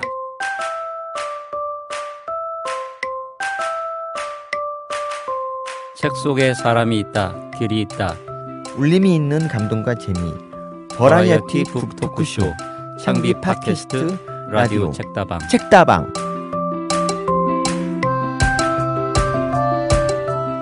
예, 두 분이 이 특별히 관심을 갖는 책 분야, 서평 분야 이제 쉬고 들어와서 이제 그 얘기를 좀 네. 해봤으면 좋겠는데 아무래도 분야가 좀 있겠죠. 모든 책을 다 읽고 모든 책에서 다 쓰실 수는 없는 거니까 역시 이현우 선생님 먼저 한번 특별히 나는 이런 분야에 아마 인문사회 분야 주로 어, 예, 리뷰어신 그쪽 거잖아요. 네. 글 많이 쓰게 되고요. 그게 또 제가 시사 주간지의 리뷰를 몇 년 계속 쓰다 보니까 그 잡지 성격에 조금 맞는 책으로 고르게 돼요. 그래서 음, 음, 뭐 제가 저 자연과학 쪽 교양서나 이런 쪽을 쓸 일은 별로 없고요. 그다음에 학술서도 아무래도 음, 제가 읽, 읽더라도 이제 뭐 서평 같은 거는 쓰게 되지 않고요. 뭐 그런 제한이 좀 있는데 저는 가급적이면 좀 다양한 분야를 좀 다루고 싶어가지고 의도적으로 미술 잡지 쪽에도 그 건축 잡지였는데 그쪽에 어, 한 뭐 한 2년 정도 예, 음. 서평을 연재한 적이 있는데 그런 거는 제가 조금 의도적으로 그러니까 다른 분야 책을 좀 읽고 싶어서 음. 아, 음, 그러면 예, 이제 예. 그런 분야 리뷰를 좀 하면서 예, 책이 오니까. 책을 읽게 되는. 음. 예. 네, 그리고 어, 과학 쪽 책들도 그러니까 뭐 주간지가 아니고 이제 다른 분야의 청탁일 경우에는 이제 그런 쪽을 일부러 조금 읽으려고 하고 예. 초창기에는 근데 너무 무서운 리뷰어라고 이 편집자들이 떨었다는 얘기 제가 많이 들었거든요. 음, 맞아요. 특히 번역의 잘못 같은 거막 네. 지적하고 그래서 참배, 막 아, 참배에서도 그랬다는데 네, 로잔, 아, 이 로잔에게 로잔 걸리지 말아야 로즈한테 돼, 이러면서. 걸렸다, 뭐 아 망했다, 뭐 이런 그런 얘기 혹시 음, 예, 네. 지금 좀 되게 된 일이긴 한데 그 어, 고소당한 적도 있었어요 명예훼손으로. 어. 네. 그래가지고 이게. 알레트인에서는 예, 음. 약간 스캔들 중에 하나였는데 음, 저만 그런 건 아니고 이제 몇 명이 어떤 책으로 네명 그랬는지 정도. 여쭤봐도 괜찮을까요? 그 책은 지금 절판됐고요. 음. 제가 음, 저는 리뷰 딱 한 줄 썼어요. 그저이 40자 리뷰여 가지고 당신이 뭘 상상하든지 그 이상의 오역을 읽, 읽게 될 것이다. 어. 그랬더니 명예훼손으로 명예. 아, 전 처음 경찰서 가서 조서도 써봤어요. 아니 근데 그런 내용으로 남겼다고 경찰서 가서 조서도 꾸미고 아니, 고소하면 명, 어차피- 명예훼손이라는 네. 어, 거는? 사실이어도 있는. 어, 예. 어. 그렇죠. 그런데 이- 받으셨죠? 예, 무혐의 받기까지 그래도 고생을 아이고. 하신 아, 뭐 심한 고생은 아니었고요. 이 검사실도 이제 학위 증명서 보내고 이런 것까지는 해봤어요. 음, 어. 진짜 음. 진짜 박사다 뭐 이런 거. 그러니까 이제 아이고. 그 그런 비평할 만한 뭐 자격이나 이런 뭐야? 게 있는지 이제 어. 어, 그거를 확인한다고. 네. 예. 치졸하다. 근데 뭐 그걸 나쁘게 생각할 건 없는 게 검사가 그래요? 무혐의 결정문을 쓰려고 할 때에 네. 근거를 뭐 달아야 되잖아요. 아, 검사도. 네. 그럴 때 이제 학위 증명 음. 필요할 수 있어요. 저는 그거 이해, 이해하는. 거예요. 그런데 학위가 그럼 학위가 없으면은 그건 거예요? 아닌데 맞아, 모레도 맞아, 맞아. 적어야 되는 거죠. 모레도 네. 검사가 적어야 되는데 박사 학위도 있고 인문학 분야의 박사고 번역이나 외국어에 대한 그게 있고 하는 거를 적으면 설득력이 있게 되니까 하는 거고요. 아마도 박사학위 없는 사람이라면 다른 뭐를 또 찾았겠죠. 예전에 이런 리뷰들을 많이 해왔었고 아, 갑자기 무슨 검사 입장 변명하는 사람이 된 것 같아. 아 그런 일도 겪으셨고 예. 예. 아니 그리고 제가 어 이름이 뭐 그런 일들 일들 때문에 이제 뭐 오역에 대한 비판 때문에 조금 알려지긴 했는데 그 오해도 좀 많이 샀고요. 그래서 음. 출판 편집자들이 좀 경계하거나 아, 심지어 미워하는 편집자도 있어요. 음. 그러니까 출판 인문 출판 쪽이 가뜩이나 어려운데 어렵게 번역해서 책을 냈더니 그게 망쳐놨다고 이렇게 생각하는 거예요. 이제 막 오역서처럼 이제 음. 그 얘기를 해서 어떻게 근데- 생각하세요? 근데 음. 책은 저는 몇 종류가 있다고 생각하는데 그 경우는 저는 이제 독자 입장에서 가령 자 좋은 번역인데 오게티가 있는 번역 음. 사람들이 다 실수할 수 있으니까 그건 가능한데 근데 그 교정하면 되잖아요. 이제 원래 출판사에서 이렇게 종업표 같은 걸 이렇게 올리듯이 그냥 독자들끼리도 좋은 번역이지만 이 대목에 대해서 이거 잘못됐으니까 우리 서로 이제 품앗이 교정을 해주는 거죠. 그 책으로 이제 그게 어 다시 나오면 좋겠지만 아시다시피 인문서를 이렇게 잘 더 찍게 되진 않잖아요. 이세를 그쵸. 찍기가 예. 어려워요. 그쵸. 예. 한번 나오고 끝나는 경우가 많기 때문에 그러니까 저는 나름대로 그게 합리적인 대응이라고 이렇게 생각이 돼요. 그러니까 일종의 이제 이 독자 공동체에서 할 수 있는. 음. 어. 근데 이제 그다음 두 번째 단계는 이제 어 조금 오, 오, 어, 오역이 좀 많은. 좀 그- 하지만 나쁘진 않은 그런 책들은 좀 더 많이 어, 그 교정 작업이 좀 필요한 거고 그 다음에는 저는 안 나오니만 못한 책도 있다고 생각해요. 오히려. 음. 그러니까 이게 이제 저작권 문제가 있어가지고 한 번 나오면 이제 다른 출판사에서 출간하기 어렵잖아요. 그렇죠. 그러니까 한 권을 이렇게 음. 망쳐놓은 거예요. 음. 그러니까 좀 전에 이제 그 고소권까지 갔던 책도 마찬가지였는데 그 책도 나와 버리는 바람에 그 저작권 판권이 살아있는 동안에 다른 출판사에서 내질 못해요. 나중에 이제 다른 출판사에서 다시 나오긴 했어요. 음. 어, 아, 같은 출판사인데 아무튼 다른 번 다시. 다시, 다시 네. 재번역해서 이렇게 나오긴 했어요. 좀 그런 책들에 대해서는 저는 어, 가차 없는 음. 어떤 뭐 이렇게 비판과 이런 게 있어야지만이 좀 경계할 거라고 생각해요. 역자도 그렇고 출판사도 그렇고 그게 이제 제가 뭐 이렇게 오역에 대해서 이렇게 시비를 이제 좀 많이 걸었 던 때 가졌던 생각이에요. 근데 그게 그런 노력으로 해서 좀 번역이 좋아지지 않았나요? 혹시? 그런 뭐 전반적인 건 잘 모르겠고 이제 일부 편집자들이나 번역자들한테 나중에 그런 얘기는 들었어요. 이제 아그 로자가 읽을지 모르니까 한 번 더 봐야 된다고 예, 그렇죠. 예, 그런 뒷얘기는 예, 들었어요. 저는 사실 번역에 대해서는 되게 좀 관용적인 게 저는 어, 되게 고맙다. 내가 영어로 읽어야 될 책을 야, 이렇게라도 번역해서 진짜 고맙다라는 마음 때문에 어지간한 오역에 대해서는 그냥 아 그냥 나의 시간을 벌어준 값이다. 어차피 오역은 피할 수가 없고 뭐 그런 마음이 저는 좀 예, 있거든요. 그런 부분이 있고 그 다음에 이제 그거보다 조금 더 문제적인 좀 망친 책들이 있는데 음. 그거는 저는 말하자면 일반 상품을 치면 이제 불량품이에요. 클레임을 제기해야 되는, 음. 이 환불해야 되는. 근데 책이라는 건 또 그렇게 되긴 어렵잖아요. 그렇죠. 그 정보를 조금 공유하는 거죠. 음. 가령 약간 극단적인 비유인데 중국에서 저 멜라닌 분유 파동 때 그런 거는 유해한 거잖아요. 안 사 먹어야 예, 돼. 예. 그거를 정상적인 가격에 판매한다는 거는 이거는 일종의 범죄. 음. 뭐 그건 극단적인 경우지만 어떤 책인데 가령 정 반대로 번역해 놓고 엉터리를 번역해 놓고 심지어 발췌 번역 뭉퉁 떼먹고 이런 책들이 사실 있어요. 음. 없지 않은데 근데 소비자가 독자가 모르고 구입하고 그다음에 잘못된 번역인데 어, 서울 학생들은 괜찮은데 제가 지방에 강의 갔을 때는 지방 학생들 자기가 머리가 나빠서 이해 못한다고 생각해요. 아, 저도 젊은 시기에 네. 마른 시간을 그렇게 보냈어요. 내 머리가 나빠서 이걸 이해 못하는구나. 그러니까 저는 아 그게 너무 좀 말이 안 된다고 생각했어요. 그러니까 아그 불량 제품을 구입해서 고, 그 고생하는 것도 억울한데 자체까지 떠안게 되는 건 이건 말도 안 된다고 생각했어요. 그러니까 인문학서, 철학서 같은 경우에는 단어, 그러니까 영어, 독일어, 프랑스어 이 단어의 의미 자체가 굉장히 중요하더라고요. 그 원문 자체의 의미가 되게 중요해서 번역하는 사람이 그걸 굉장히 고심을 해야 되는데 음. 그런 거 없이 그냥 부주의하게 그냥 통상적으로 번역이 되는 대로 그냥 한 번역문들이 있고 근데 저는 그런 책을 고를 때그 로자님 서재에서 도움을 받는 바가 되게 커서 어, 네, 그 평가에 그러니까 읽을 만한 네, 책인지 번- 아닌지에 네, 대한 네. 그래서 제가 어떤 인문학서를 고르게 될 때 그 그 책 의 밑에 이제 로자님의 그 서재가 걸려 있으면 되게 반가워요. 음. 이걸 알아볼 수 있겠구나 이래서 딱 해서 사도- 사도. 되는구나, 뭐 이런. 네, 네 그런 거. 세긴 센 거예요. 그렇게 치면 권력은 권력인가요? 아니, 권력.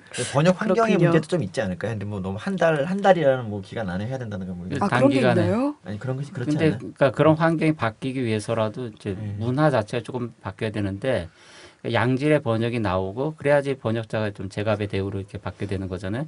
지금은 그렇지 않을 줄로 이렇게 그냥 나오기만 하면 된다고 생각하면은 그 이제 번역의 질이 어떻든 간에 그냥 음. 책으로 내면은 그 다음에 그냥 찍소리 없이 이제 그게 뭐 그 저 읽힌다라고 하게 되면은 번역자를 잘 대우를 안 해주겠죠.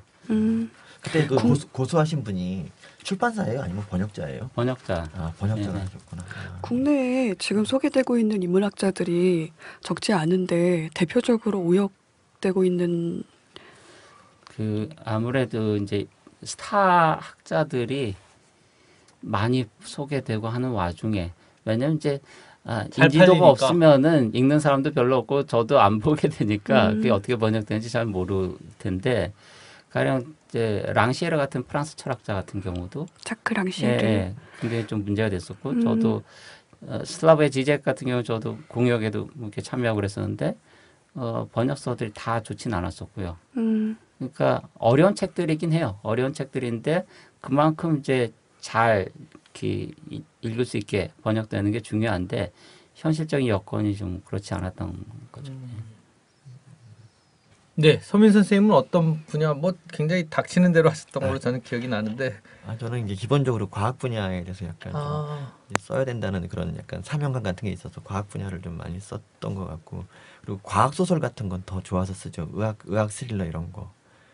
그 작년에 예를 들면 제노사이드 같은 거는 제가 어. 정말 너무 너무 재밌게 읽었어요. 근데 저도 그때 이제 뭐, 뭐 번역 문제 이런 것도 좀 있겠지만 저는 그런 거 잘 모르겠더라고요. 그냥 책이 재밌으니까 그냥 다 읽혔 읽혔고 그 소설은 또 약간 인문학하고는 아. 좀 다른 네, 면도 있잖아요. 소설은 좀 괜찮은 부분이 있어요. 네. 음. 아, 새롭게 그 다른 소설이라 하더라도 설사 번역자가 새로 개작한 그런 경우도 있다고 저는 아는데 가령 음. 베르나르 베르베르 같은 작가 국내에서 이렇게 아, 베스트셀러가 네. 됐고 그랬는데 그 역자가 많이 조금 첨삭하고 그래요.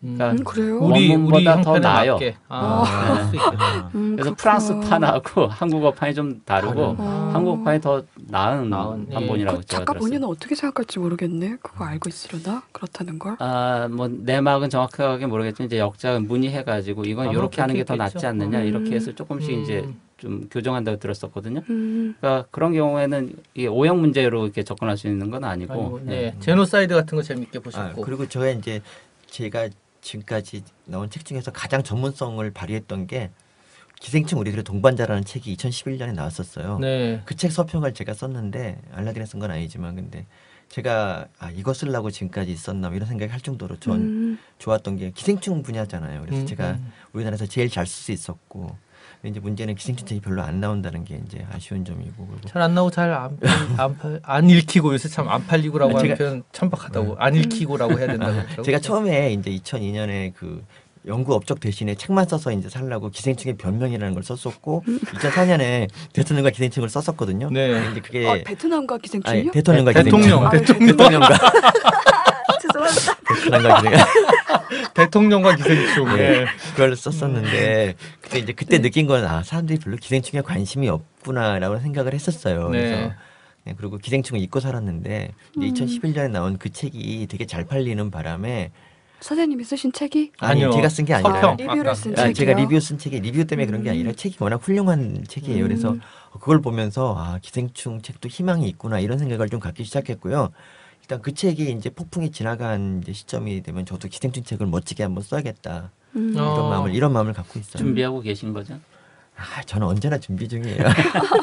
아 그런데 네. 사실 학자들 입장에서는 네. 그런 문제가 있죠. 책 한 권 별거 아닌 교양서라도 쓰는데 드는 노력이 사실 상당하잖아요. 어떤 때는 1년이나 아, 어떤 때는 그럼요. 3개월 이상을 써, 쏟아 부어야 되는데 네. 어, 예전에 이제 학계에서 교수님들이 논문 쓰기 힘들어지면 자기 강의한 거 대충 모아가지고 책한 아. 권씩 내고 논문 실적을 하던 아. 나쁜 과거 때문에 이 책 교양서들에 대해서는 우리 학계에서 참 전혀 인정 안 해주는 그런 문제. 논문 한 편 정도 아. 쳐주면 다행인 거잖아요. 그래서 저희 저희 같은 경우는 이제 학술서는 300점이고 논문은 논문도 300점인데 그 교양서는 30점이에요. 30점. 아, 그러니까 저는 사실 음? 제 책에 늘 각주를 달고 그런 이유가 교양서지만 난 이거 학술서다라고 우기려고 하면서 네. 아 사실 버텨온 부분이 있는데 네. 좀 처량하기도 하더라고요. 그냥 어, 우리 학교니까 물론 봐주기도 하고 제가 아 이것도 아, 논문 한 편을 쳐주시면 좋은데 막 이런 왜 한없이 약자가 되는 그런 게 있어요. 밖에서는 네. 잘 생각 안 해. 사실 서민 교수님도 늘 이 문제 부딪히면서 살아오신 거잖아요. 아. 그 어느 시점에 접은 거고요. 그냥 네. 이, 이 장사 그만하고 차라리 논문 쓰는 게 낫겠다고 생각하신 거잖아요. 네. 어. 너무 이게 기- 전문 전문적인 분야로 빠지신 것 아, 같은데 아니 그러니까 얘기. 기생, 네. 기생충의 변명 같은 거딱 음. 봐도 이제 학술서라고 우길라 그랬거든요. 이 제목에 기생충을 넣, 넣는데 근데 그게 학술서 인정이 안 되고 점수도 너무 처량하게 30점밖에 못 받으니까 네. 그걸로 이제 못 살겠다 생각이 들었던 거죠. 제가 보기엔 제목이 문제였던 게 아닐까. 그럴까요? 예, 좀더 학술적인 뭔가 냄새를 예, 풍기는 무슨 제목이었다면 고찰이 들어가거나 그건, 기생충에 대한 고찰. 이론이 들어가거나. 그건 정말 이제 다섯 권 팔기로 마음 먹은 거죠. 그건 아니, 전혀. 요새 소설도 이론이라는 제목 단 아, 소설들이 소설도? 나와서 예. 아, 그래서 아, 그런 어려움이 있고 그건 또 달리 얘기하면 아까 이호원 선생님 지적하신 번역의 문제도 우리 네. 학교에서 사실 번역에 점수를 안 주잖아요. 많이 네, 그렇죠. 절반밖에 안 주고 하다 보니까 교양서 번역서가 이제 다네 아, 논문 평가절하돼서 예 평가절하돼서 네. 그러다 점, 보니까 점수 얘기가 자꾸 나오는데 무슨 점수 말씀하시는? 승진하려면 예를 들면 아, 논문 한, 대학에서? 논문 네, 한 네. 편에 100점이라 어. 그러면은 뭐 점수가 네, 어, 그래요? 뭐 500점을 채워야 1000점을 채워야 승진하는 그런 게 어, 있거든요. 그래요? 아유, 교수들한테 굉장히 중요한 아유, 그게 그- 인문 교양 시장에서 교수들이 사라진 이유죠 지금. 왜냐하면 교수들만 사라진 게 아니라 이제 그 밑에 대학원생들도 다 같이 사라진 거예요. 박사들도 다 사라졌어요. 어, 네. 그러니까 책을 3천 권을 팔면은 300만 원 겨우 벌잖아요. 그쵸. 그런데 300만 원 벌려고 몇 달을 쏟아부어서 책을 썼는데 어, 학교에서는 논문을 인정 못 받고. 근데 논문은 요새 한 편 쓰면 학교에 따라 500만 원도 주고요. 그냥. 네. 음. 어, 그러니까 그게 훨씬 남는 장사이고 학자로서 살아남는 데도 훨씬 도움이 되고 어, 그런 면이 좀 있어요. 예. 안타까운 얘기죠. 진짜. 네. 안타까운 일이고. 저는 황 선생님한테 질문이 있는데요. 그러니까 네. 저기 혹시 블로그 활동 안 하, 시나요 저는 안 합니다. 아까 아. 개인적으로 잠가놓고 혼자 아, 뭐 이렇게 끄적이는 공간은 있는데 음. 예, 그냥 블로그 한다고 하기에는 좀 뭐한 그러니까 소설가가 블로그 운영하는 게 참 어려울 것 같더라고요. 그러니까 제가 아는 음. 소설가 한 분도 이제 가짜 이름으로 이렇게 막 하다가 음. 결국 이제 그 들통 그것도 이제 닫아버리시고 막 그러는 음. 경우가 많은데 알라디노 중에 알라디노 중에서 음. 예, 알라디노 중에서 등단을 하, 게 되는 경우도 비슷하게 음.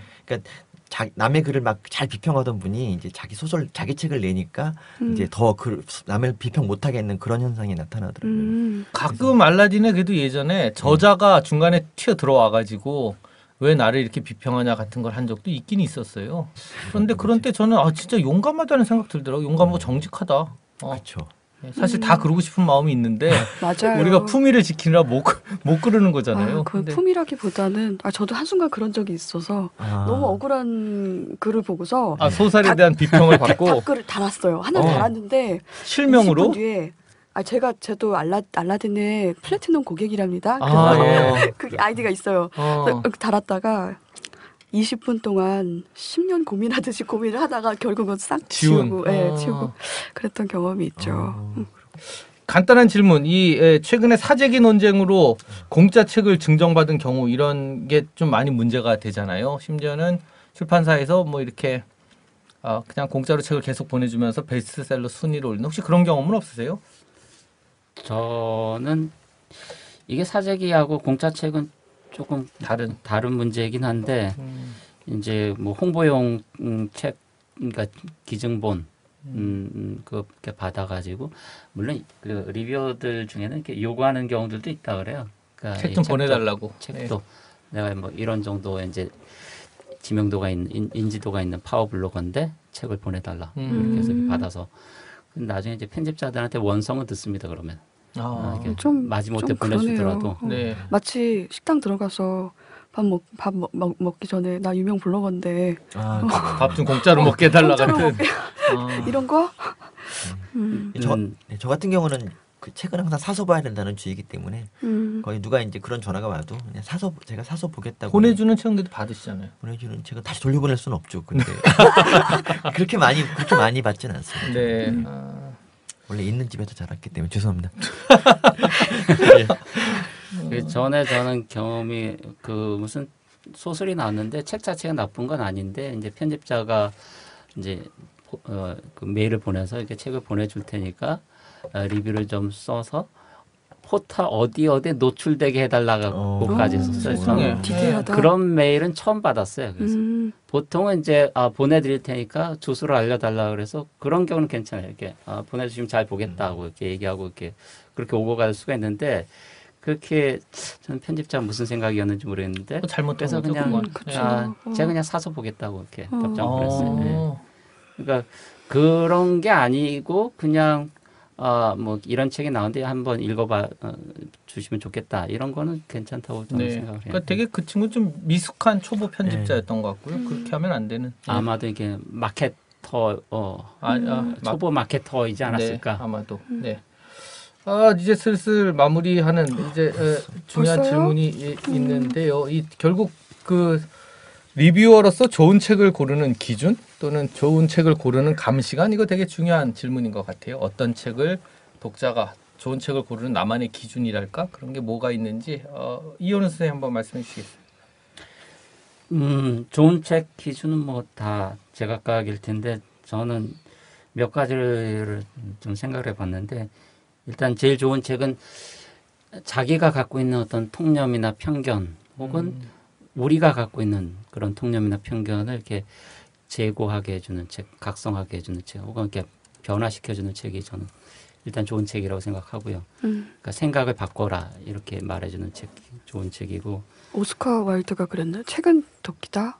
최근에 어느 어, 국내 학자분이 자기 책 제목으로 삼기도 했는데 박웅현, 박웅현, 씨가 예. 아 쓴, 그런가요? 음, 예. 음. 그 어, 어쨌든 도끼 건물은 이게 우리를 이제 어, 변화시켜 줄 수 있는 책이 좋고 어떻게 알아요, 근데 그걸? 그러니까 내가 자명하다고 믿었던 어떤 걸 뒤집어 다르게 얘기하는. 어, 어. 그게 아닐 아닐 수도 있다고 의심하게 해주는 그런 책. 음. 네, 그런 책이 일단 좋은 책이라고 생각이 들고 그 다음에 저런 책들도 있어요. 자기가 알고 있는 거를 이렇게 잘 체계화해 주는 책들도 음. 저는 음. 유익한 책이죠. 그 다음에 그 다음에 이제 흔하게 얘기할 수 있는 거는 이제 어떤 지적 자극과 이렇게 재미를 줄 수 있는 책. 음. time killing killing용이라 하더라도 그것도 유익한 범주가 자극이 될 수 있으면 그렇죠. 그렇죠. 자극이 되면서 재미 재미를 주는 책.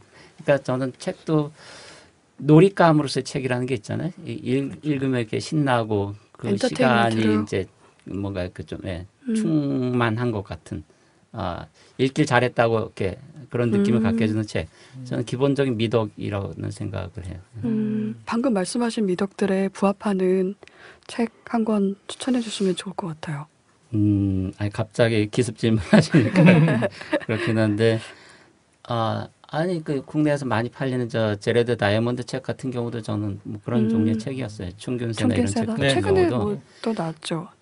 예 어제까지의 세계란 책이 아, 또 네. 나왔었는데 음. 그건 좀 두툼한 책임에도 불구하고 이제 약간 독자층이 생겨 생겨가지고 음. 충균세 이후로 한 몇만 부 정도 나갔으니까 저는 그런 거는 조금 희망적인 사인이라고 이렇게 생각이 돼요. 총균세 네. 같은 책이 많이 나가는 예. 예. 네. 그 정도 그게 뭐 지적인 자극을 주는 예. 책이죠, 정말. 네, 새로운 관점에서 있고, 세계사를 보게 하는. 독파하게 되면 독서력도 좀 키워지고 음. 그다음에 어, 나도 이 정도 수준의 책을 읽었어 이런 뿌듯함도 좀 주고. 갖게 해주고 저는 그게 음. 그 청균세 책이 그렇게 많이 팔린 게 어, 일종의 마케팅의 성공 같다는 생각이 들어요. TG에 일본은 일본인의 일본의 기원이 한 한반도 다라는 식의 그 내용을 새로 삽입된 그 문구하면서 이렇게 어, 챕터 네. 하면서 거기다 띠지를 붙여놨더라고요. 추가 원래는 논문 저 들어가면서 서울대 대출도서 1위여가지고 음, 아하. 그것도 예, 있고 예, 예. 그것도 있고 그 예전에 정의는 어, 무엇인가? 어 정, 네. 정의란 무엇인가 정의란 저스티스요. 네. 그 책이 그렇게 많이 팔린 것도 저는 아, 그건 책 좀- 내용에 대한 관심이라기보다 마케팅에- 하버드 아, 대학생들에 그렇죠. 대한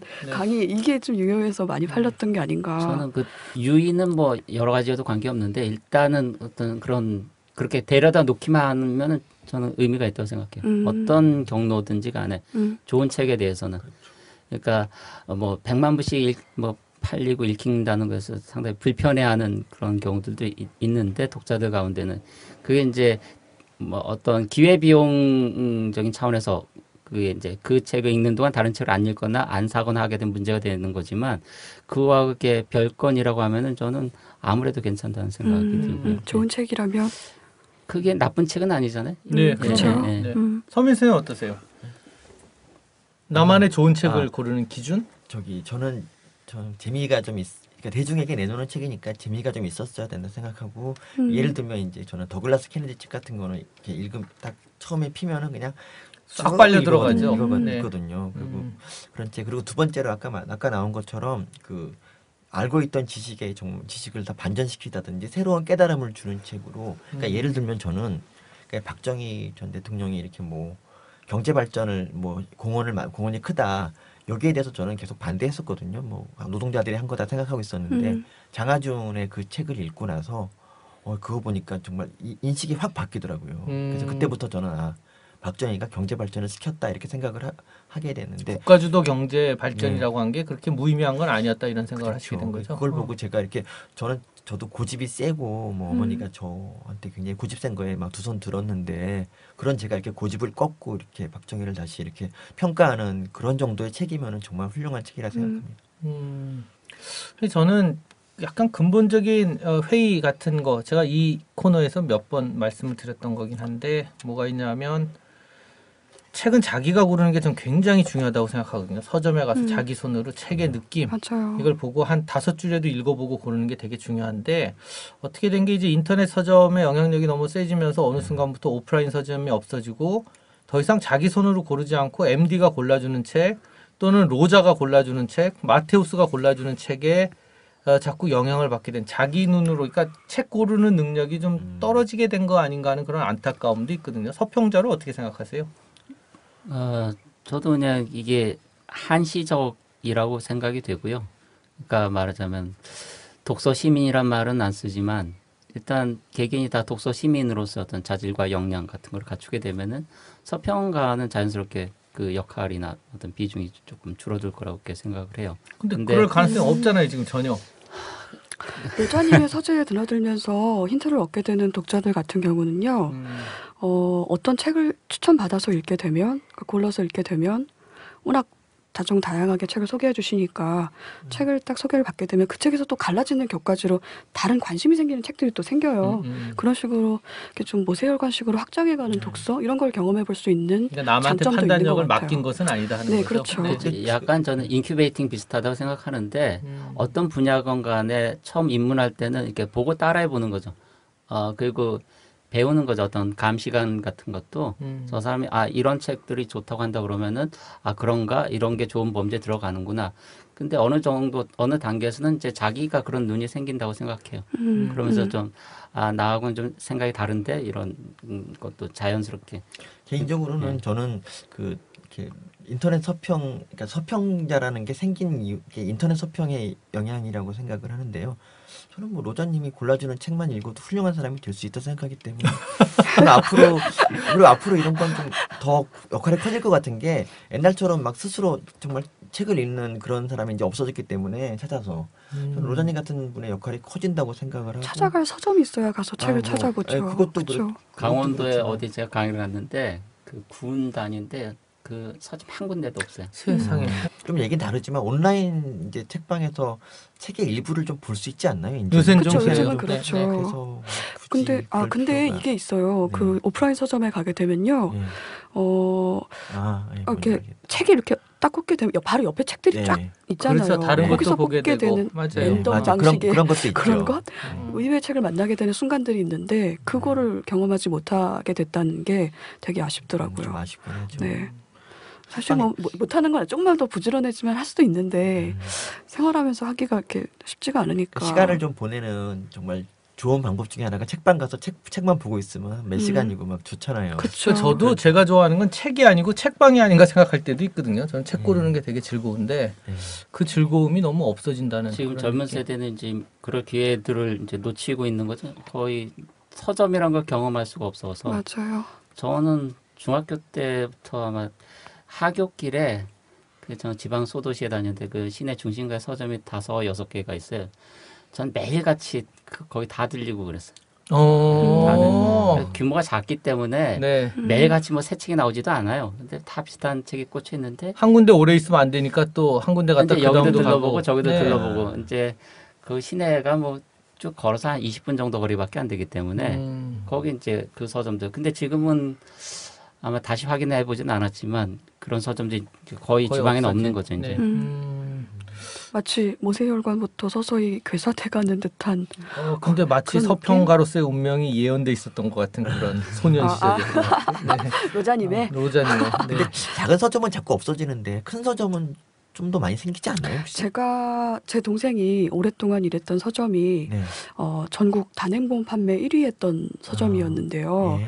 그게 아파트 단지에 있는 그냥 큰 서점이 아니라 동네 서점인데 약간 좀 네. 면적이 넓은 근데도 되게 힘들어하고 지금도 뭐 언제 문 닫을지. 모르는 네. 그래서 대부분 판매는 학습지 위주로 하는 그런 뭐 인문학서 안 나가는 거는 뭐 말할 것도 없고 네. 아니, 천안에 이제 교보문고가 이제 들어서 가지고 음. 거기서 좀 행복하게 지내고 아, 있는데 행복히 지내고 계시는군요. 예, 예. 사인해달라고 사람들이 달려오지 않아요? 요새는 좀 불편하실 것 같은데요. 방송 많이 나가시면서. 아 그런 게 아닌 아 별로 그렇지 않은 게요. 이제 그 주로 젊은 사람들은 걸어갈 때도 스마트폰을 보고 계시기 때문에 제가 옆에 있어도 잘 모르 잘 모르십니다. 혹시 이제 아, 스마트폰은 걸어- 선생님의 저. 어, 걸어갈 때도 스마트폰을 보고 있으니까. 어, 예. 그럼요. 근데 아, 그 되게 위험한데. 되게 위험하죠. 근데 어. 그래서 혹시 나이 드는 아줌마들이 이제 알아보니까. 아줌마들이 아줌마들이- 저를 좀 알아보죠. 아, 그래요? 예. 아, 반가워. 아침마다 하세요? 어, TV 나온 사람 이러면서 네, 아침마당에 나온 사람. 뭐 이러면서 아. 얼굴 보니까 잘생겼는데 왜 못생겼다 그러냐 뭐 이런 덕담도 해주시고요.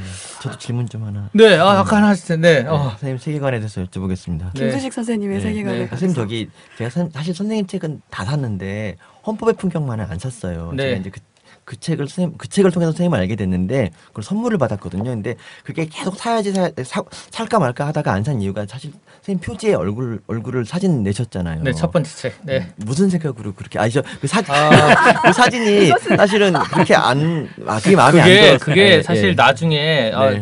조국 교수님인가가 저를 놀렸던 것 같아요. 뭐 국회의원 나올 사람들이나 책 낼 때 내는 방식으로 책 표지를 왜 그렇게 했냐. 제가 네. 알기로는 그때 출판사가 신생 네. 출판사라 표지를 뭐 따로 디자인하거나 그럴 마음이 없이 제가 제 카메라 들고 가서 네. 그 출판사 사장님 부군께서 저를 찍은 걸로 그냥 표지가 아. 나갔던 특별한 이유보다 그냥 아 그랬던 걸로 제가 기억을 그책 해요. 그책 네. 표지에 선생님 사진 실려 있나요? 처음에 네. 아, 표지에 그래요? 있다만하게. 그 보통 국회의원 나갈 사람들만 하는 방식이라고 하더라고요. 제가 그 책을- 교수는 왜 그러면 사진을 이렇게 싣나요? 어? 조국 교수님 조국 교수님 아니 그 어떻게 비교가 돼요? 그 조국 교수님은 아니, 표지에 사진 그- 넣으면 책이 팔리는 거고요. 아니 그분은 네. 아니, 그 멘트가 저 국회의원 나갈 사람만 그렇게 한다.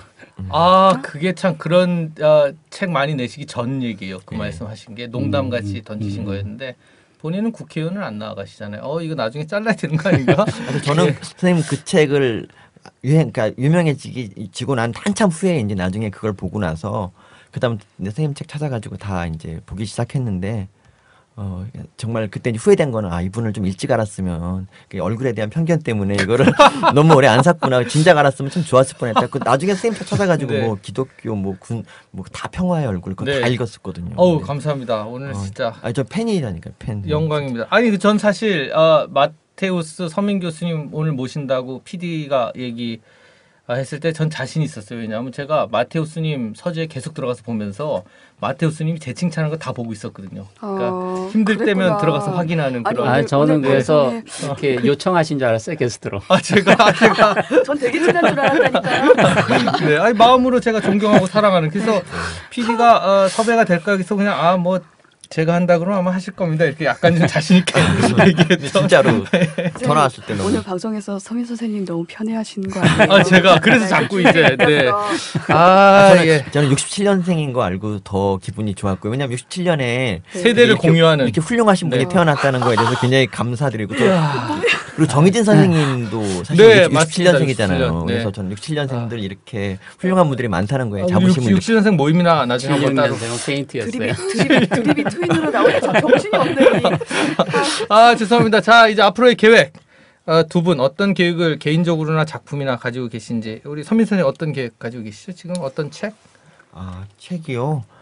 아니, 책은 책 아니더라도 뭐, 뭐 방송 방송 일단 제가 제가 사실은 원래 방송을 이렇게 나가면은 한 처음에 처음에 나가면 이제 PD가 이래요. 아니 너 같은 애를 왜 안 썼지? 그리고 이제 2회 3회쯤 되면은 아 너는 좀 방송에 안 맞는 것 같다 이러고 한 5회 왜요? 5회 안에 잘리 잘렸어요. 근데 이번에 베란다 쇼가 무려 두 달이나 하는 거에 굉장히 저도 놀래고 있고 제가 드디어 이제 방송에 감을 잡은 게 아닌가 이런 생각도 하고요. 그리고 제가 옛날에는 방송 작년까지만 해도 방송 나갈 때 항상 개처럼 끌려 나갔어요. 그래서 끌려 나가서 그냥 이러고 앉아 있다가 저가 별로 좋아하지 않는 거죠. 제가 스스로가 그냥 앉아서 웃겨야 한다는 강박관념만 갖고 있다가 그러고 이제 들어왔는데 어, 이 어, 베란다 쇼 찍은 지 한 달 좀 지난 시점에서 어느 날 녹화할 때 되게 이제 막 잘 됐거든요. 빵빵 터졌을 때 그때 이제 집에 갈 때 되게 빠 짜릿하더라고요. 아, 그래서 이제 음. 이것이 감이 온 거군요. 네, 이것이 드디어. 이제 방송의 힘인가, 막 방송의 음. 매력인가 이제 그래서 그때부터는 이제 제가 좀 비굴해졌어요. 그러니까 그때 그 전까지는 방송에서 나와달 이렇게 되게 보자세로 했거든요. 안 나간 거죠. 아니, 거의. 그러니까- 언제든 그만둘 아니, 수 그러니까, 있어. 어, 저는 이 내 자리가 아니다. 음. 그래서 뭐,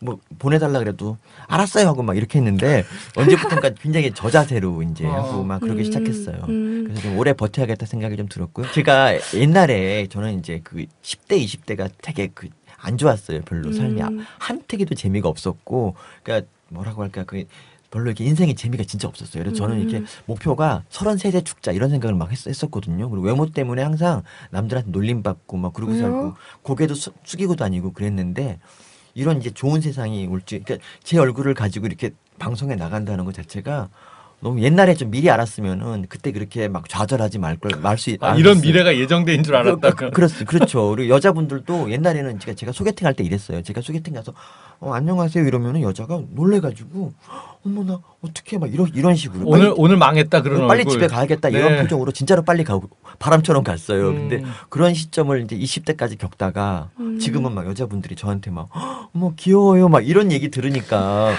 정말 이게, 이게 이제 사는 거구나. 그래서, 어, 저 되게 조- 좋아요. 그러니까 어. 그동안 억눌렸던 게 다 풀리는 것 같은 음. 느낌? 방송도 열심히 하시고 그럴 계획이시군요. 앞으로도 계속. 아니 그러니까 그리고 연구 그러니까 방송을 하더라도 연구랑 최소한 그 연구랑 그 강의는 정말 완벽하게 하자 이런 주의입니다. 아 그러시군요. 그래서 이제 그 세 가지를 다 하려니까 가정을 희생해야겠더라고요. 그래서 요새 아내 만나면 되게 반가워하고 그래요. 예, 이현우 선생님 어떠세요? 앞으로의 계획? 아, 저는 아직 방송 계획은 없고요. 그 잡혀 있는 거는 저도 라디오에서 책 소개하는 거는 지금 계속 하고 있는데 서평꾼이라고 돼 있어서 서평집을 뭐 뭐 그 어, 계속 내려고는 하지만 이게 두 번 정도 내 보니까 낼 때마다 절반씩 줄어요. 독자가. 뭐가요? 아, 그 이제 책의 출판계에 독자가요? 있는 이제 출판계 일종의 법칙처럼 돼 있는데 어. 속편이 나오면 이제 이렇게 절반씩 그 음. 매출이 떨어진다 그러잖아요. 그래서 얼마나 갈 수 있을지는 잘 모르겠고요. 그 지난번 서평집을 고려해볼 건데 앞으로 한 두 권 정도 더 내면 이제 바닥이 보이잖아요. 그러면 저는 뭐 나름대로 이제 그 제대하면 되니까요. 그저 서평 그 원래 네, 자기 네. 분야가 따로 있으신 거니까요. 러시아 문학이라고 하는. 예, 뭐, 그, 러시아 문학 쪽이나 무슨 세계 문학 강의는 그쪽으로 이렇게 많이 하고 있는데 그런 쪽의 책들도 지금은 계획하고 있고 영화 쪽 책도 뭐 하나 쓰려고 하고 뭐 그런 계획으로만 돼 있고요. 그 다음에, 어, 아, 선생님 껴들어서 죄송한데요. 네. 선생님이 저기 책을 안 책을 안 내시더라도 서평꾼으로서 역할은 점점 커지는 거 아닌가요? 그러니까 방송 매체나 다른 매체를 통해서 음, 좋은 질문이죠. 그거는 잘 모르겠어요. 그게 무슨 영향력이 있는지 어떤지는 음. 뭐 제가 실감을 못 하는 거라서. 네. 되게 네. 작가분들도 비슷하지 않으세요? 그쵸? 음, 뭐 언- 앞으로 뭐할 언제 계획이세요? 무슨 책을 이러면 진행한다 이 정도 계획 정도만. 음, 되게 막연하죠. 책 쓰는 입장에서의 그런 근본적인 서글픔 같은 건 이- 저는 있는 것 같아요. 활자의 시대가 분명히 어떤 형태로든 좀 음, 기울고 있는데 참 아, 뒤늦게 활자에 매달려서 내가 사는 인생이 됐구나 같은. 근데 뒤집어서 좀 다르게 생각해 보면은 19세기만 하더라도 그 문맹자가 95%였기 때문에 그 저희가 19세기 이제 문학의 전성기라 그러는데 러시아만 하더라도 톨스토이나 도스토옙스키 소설들이 5% 독자를 아. 위해서 쓴 거였거든요. 네. 그런 거 생각하면 지금 여건이 사실 나쁜 거는 또. 아니기도 해요. 음. 그러니까 뭔가 문학이나 혹은 책에 대한 신뢰의 문제인 음. 것 같다는 생각이 들어요. 음. 음. 그러니까 저희가 알리바이나 핑계로 이제 지나갔어. 아, 뭐, 그렇게 어, 나는 거지. 충분히 뭐 좋은 책 쓸 수 있지만 뭐 책을 안 읽는데 뭐 어떻게 할 거냐. 굳이 뭐 어. 쓸 필요 음. 있어 이런 게 아니라 그 5%의 독자 내지는 인문성어라면 3천 명의 독자, 5천 명의 독자인데 그들에게 충실하겠다 정도면은 저는 그 내부에서 이렇게 뭔가 이렇게 존속 가능하다고 생각해요. 음. 이게 소수 문화를 하더라도 네. 그걸 음. 우리가 신뢰하느냐 하지 않느냐의 문제가 아닌가 싶어요. 음. 음, 제가 등단한 지 지금 거의 8년 정도 됐는데 그때부터 이미 들어왔던 얘기들이거든요. 네. 그, 그 이전에도 있었던 얘기라고 하더라고요. 음. 근데 저는 그냥 인류가 있는 한 어딘가 어느 구석인가 이렇게 조금만 연못으로라도 이 독. 네, 물질 그 물질적 치- 책을 읽는 독자는 항상 있을 것 같다는 생각이 들고 저희 아버지가 그 오디오 수리를 하시잖아요. 그 빈티지 앰프라 그래서 그 진공관 앰프나 턴테이블 같은 거 혹은 릴 심지어는 릴 그거 음. 아직도 갖고 오시는 분들 계세요. 그러니까 이걸 어. 누가 들어 그러니까 부품 부품 가게들 한 1층에 시대가 끝난 것 같아도 끝난 네, 게 아니라는 그러니까 거죠. 부품 가게들조차도 어, 이런 일을 왜 하냐 이걸 누가 요즘 듣냐 이렇게 얘기를 하는데도 분명히 그걸 찾아오는 사람들이 있고 음. 새롭게 젊은 층에서 또 그걸 찾아서 듣는 사람들이 있거든요. 그런 걸 보면 어떤 되게 뻔한 비유지만 아날로그적인 것 그런 것에 대한 음. 그 문화 문, 아날로그적 문화 이런 것에 대한 그런 거는 유지가 어느 정도는 되지 않을까 싶, 음. 싶어요. 여기 네. 더해서 조금 말씀드리면 저는 이제 지금 체계 시대에 가고 있다 그러는데 뭐 이게 사실이 하더라도 20년 후에 어떤 이제 저처럼 비, 비슷한 기생충 학자가 나온다고 이제 치면은 그 사람은 정말 저는 이제 기생충으로 지금 책을 쓸 수가 있지만 그 사람은 더 그 책을 쓸 수가 없잖아요. 아예 체계 시대 간다면은. 음. 그러니까 그, 그 20년 후에 그 학자에 비해서는 저는 훨씬 행복한 거고 일단 책을 내준다는 출판사가 있고 이러는 거에 되게 그래서 좀 좋은 것 같아요. 지금이 훨씬 좋은 것 같아요. 아. 예, 미래, 그러니까 미래에 비하면 지금이 제일 좋은 때다 뭐 이런 생각을 하고 있습니다. 네, 오늘 여기까지. 아, 제가 특별한 코멘트를 덧붙이지 않고 마지막에 세 분이 하신 말씀이 어쨌든 책의 미래에 관한 여러 가지 어, 밝은 어쨌든 우리가 현재에 좀 더 감사하고 더 열심히 뭘 써야 되겠구나 하는 생각을 들게 하는 그런 말씀이셨고요. 네, 오늘 북토크쇼 여기까지 어, 진행하고 마치도록 하겠습니다. 감사합니다. 오늘 같이 해주셔서. 감사합니다. 네, 감사합니다. 네. 듣다가 보니 빠져드네 듣다가 보니 재미가 있네 책 속에 사람 있다 삶이 있다 길이 있다 지혜 있다 재미 있다 감동 있다 울림 있다 이게 웬걸 기다려지네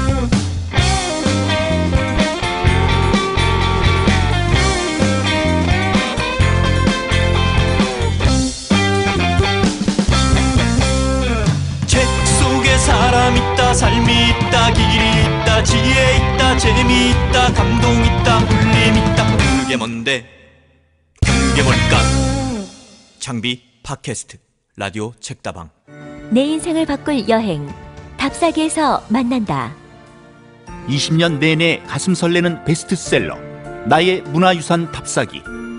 한국인의 가슴을 뛰게 하는 우리 시대의 명저. 출간 20주년 330만 독자가 선택한 답사 여행의 길잡이 이홍준 지음. 나의 문화유산 답사기. 도서출판 창비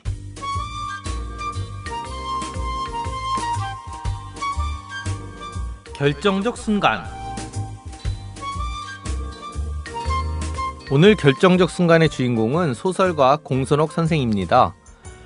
초등학교 시절에 호남 예술제 그림 부문에서 1등상을 타셨는데 이공 선생이 받아야 할 상품이랑 글짓기 부문에서 1등을 한 학생이 받을 상품이 뒤바뀌는 바람에 그 경험으로 지금의 소설가 공선옥이 있게 됐다는 에피소드입니다. 함께 들어보시죠.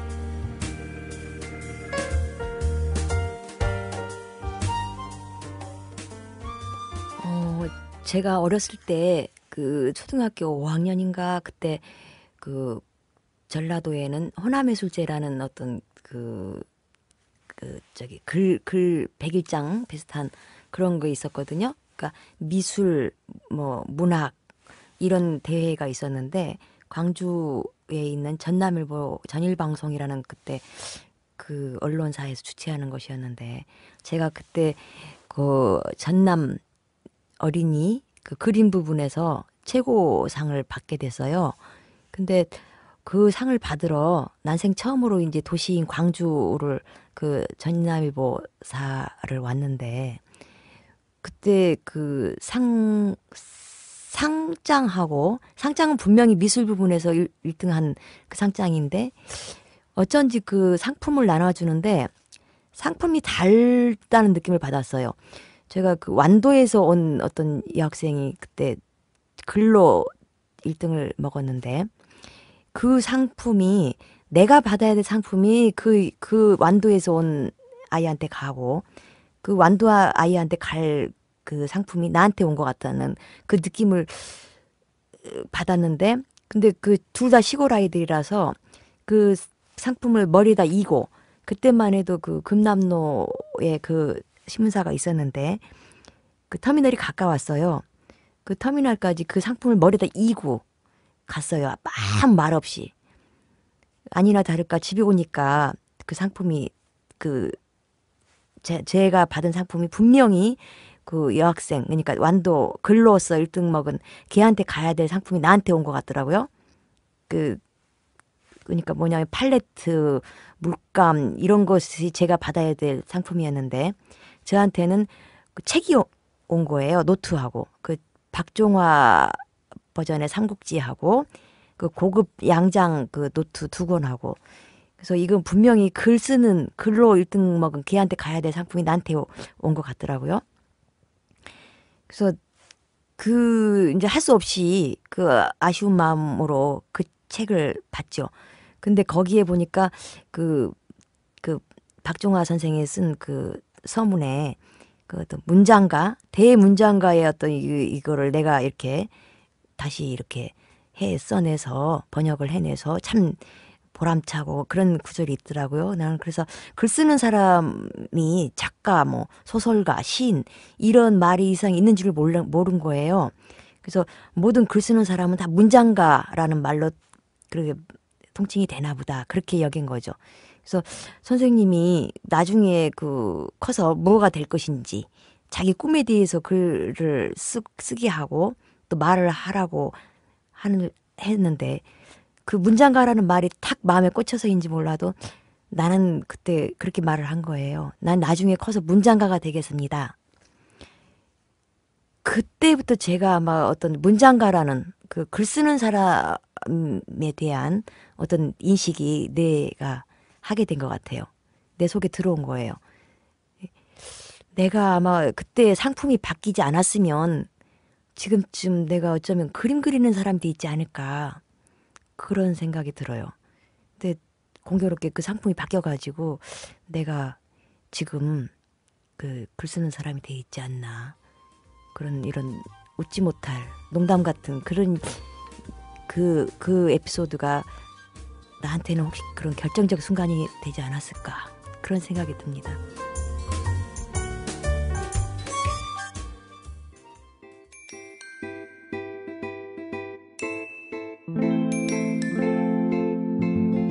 책마을 소식. 책마을 소식 네 번째 시간입니다. 오늘도 한결의 허미경 기자를 모시고 이 출판계의 여러 가지 소식을 들어보겠는데요. 오늘 휴일 당직을 맡아서 신문사에 나와 있는 허미경 기자를 직접 만나 뵙기 위해서 제가 한겨레 신문에 나와 있습니다. 허 기자님 잘 지내셨죠? 네, 안녕하세요. 네, 오늘은 어떤 책 소식을 전해주려고 하시나요? 네, 남자와 여자를 열쇠말로 삼은 두 권의 책을 소개하고 싶습니다.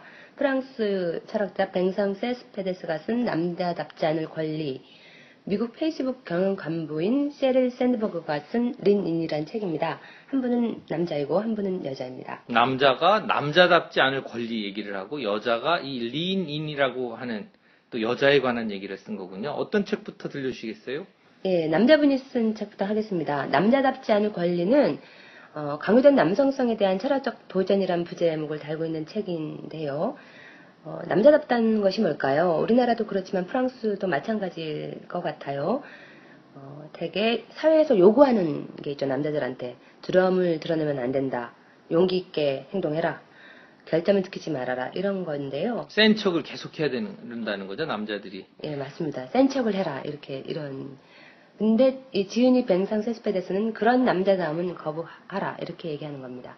어떤 남자다움을 얘기하고 있는 거죠, 그러면? 지은이가? 음, 말하자면 그런 남자라는 게 폭력적인 남자, 마초 남자라고 할 수 있는데요. 지은이는 어, 폭력보다는 비폭력적인 남자, 사랑과 연애를 잘하는 남자가 되자 이런 얘기를 하고 있습니다. 어, 남자분들 중에 일부 어떤 분들이 이제 폭력적인 경우 행동을 하는 경우가 있었잖아요. 가정폭력 같은 사례. 그런데 이 책에서 보니까 정신분석가들이 이야기를 들어보니까 폭력적인 남성은 남자다운 남자가 되는데 어려움을 겪고 고통받는 남자였다는 겁니다. 어, 제2성이라는 책으로 잘 알려진 시몬 보부아르도 비슷한 말을 했는데요. 자신이 남성다움에 대해 걱정하는 남자가 여성들에게 공격적이다. 이런 말을 했습니다. 네, 그 어떤 남자가 돼야 된다는 건가요? 어, 세스페데스는 사랑 예찬론자인데요. 어, 타인에 대해서 열린 남자, 두려움을 솔직하게 말할 줄 아는 남자, 어, 에로틱한 남자, 이런 남자가 되자, 이렇게 얘기하고 있습니다. 그래서, 지은이 책을 보다 보면, 어, 현실에서 남성이 여성보다 비겁한 행태를 보이는 경우가 많은 게 사실이라고 하는데요. 이, 이거는 남자들한테는 감정을 숨기라고 교육을 받- 받고 이제 여자들의 경우에는 어릴 적부터 길 조심해라.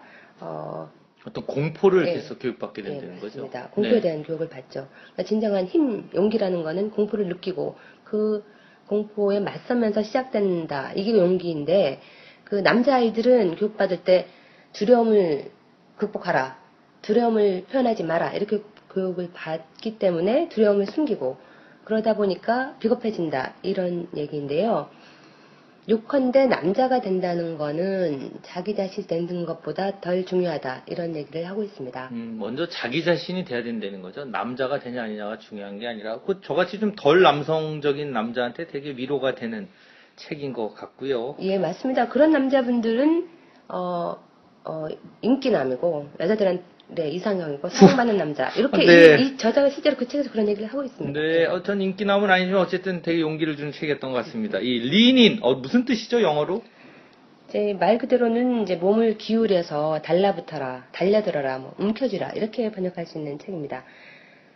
어, 이 책은 남자답지 않을 권리와는 반대로 여성들이 두려움에 관한 얘기입니다. 어, 미국 페이스북 간부인 셰릴 샌드버그가 쓴 책인데요.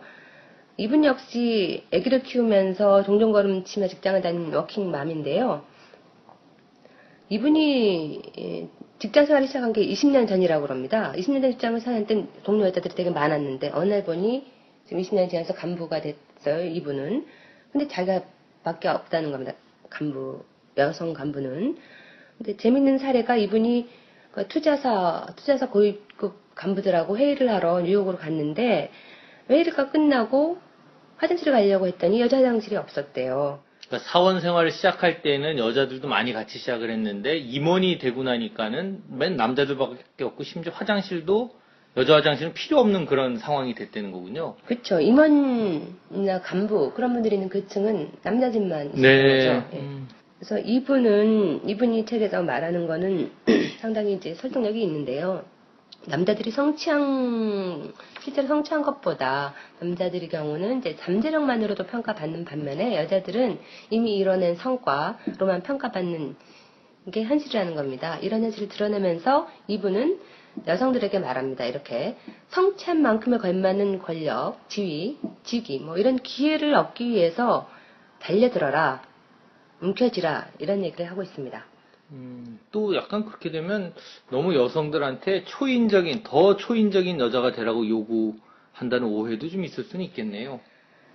음, 그런데 이분은 이제 뭐 가사 분담이랄까요? 음, 남성은 가정 내 식탁 테이블에서 더 많은 시간을 앉고 음. 여성은 직장 내 협상 테이블에서 좀 더 당당하게 기회를 찾기 위해서 애쓰고 어, 결과적으로 조직의 절반은 여성이 가정의 절반은 남성이 운영하는 그런 세상이 되면 좋겠다. 아, 그런 표현 좋네요. 저도 전적으로 공감이고요.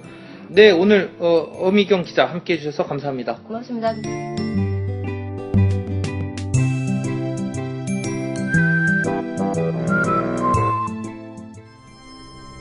안녕하세요. 소설가 공선옥입니다. 잊을 수 없는 그날의 기억, 그 시간을 여러분에게 들려드립니다.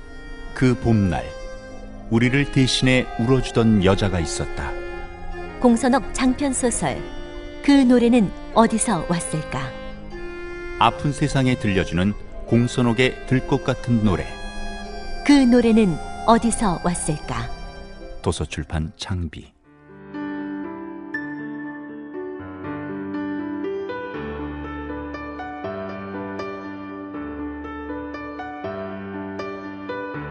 상담해도 괜찮아.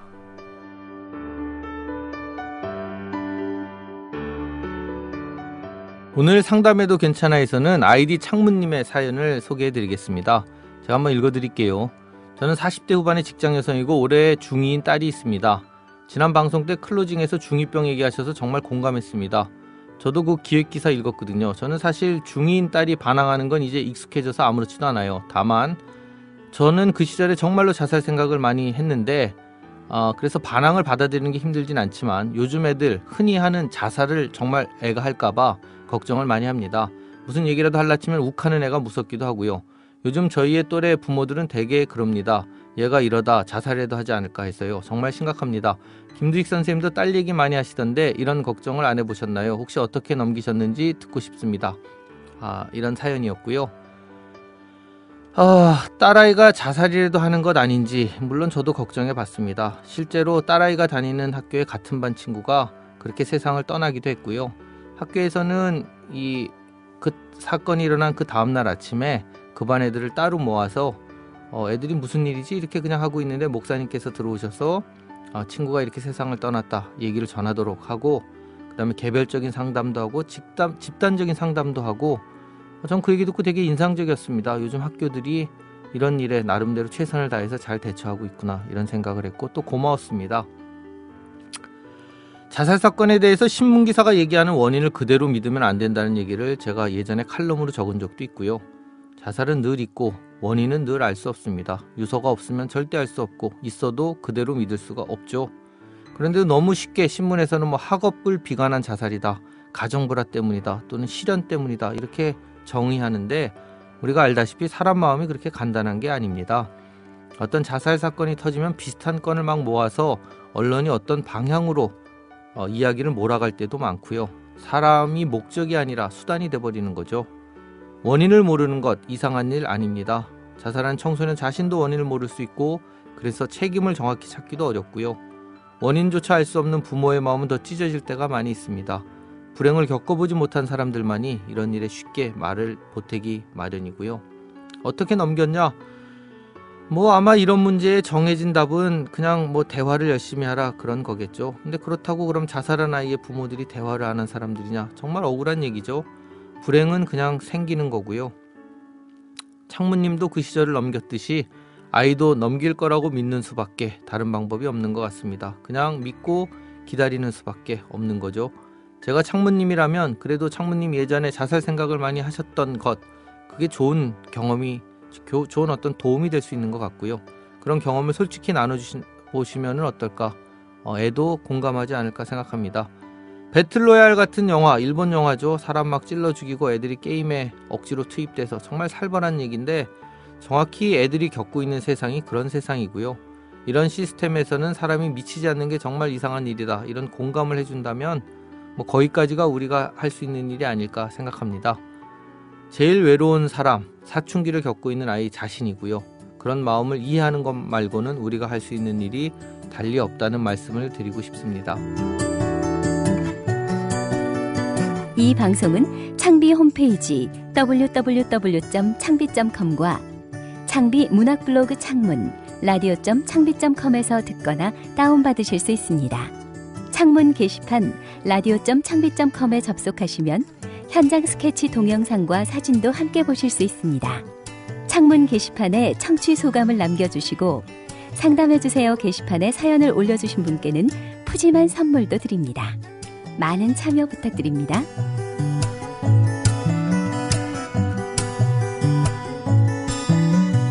책다방 열번째 시간 문을 닫으면서 다시 새롭게 시작할 열한 번째 개편이 저도 기대가 됩니다. 매주 찾아뵙고 인사드린다는 게 설레기도 하고요. 책다방이 그동안 중요한 저자분들을 많이 모시고 약간 어, 이 게스트빨로 유지되던 면이 없지 않았는데요. 앞으로는 진행자빨로 유지될 수 있도록 저나 황정은 작가나 좀 더 노력하도록 하겠습니다. 다음에는 7월 1일 월요일 오후에 찾아뵙겠고요. 이 방송의 제작과 공급은 출판사 창비가 하고 있고 프로듀서 황혜숙, 기술 편집의 석상훈 유군배, 홍보의 지은영 김정규 씨가 수고해 주셨습니다. 그리고 지금까지 저는 진행을 맡은 김두식이었고요. 7월 첫 번째 월요일에 뵙겠습니다.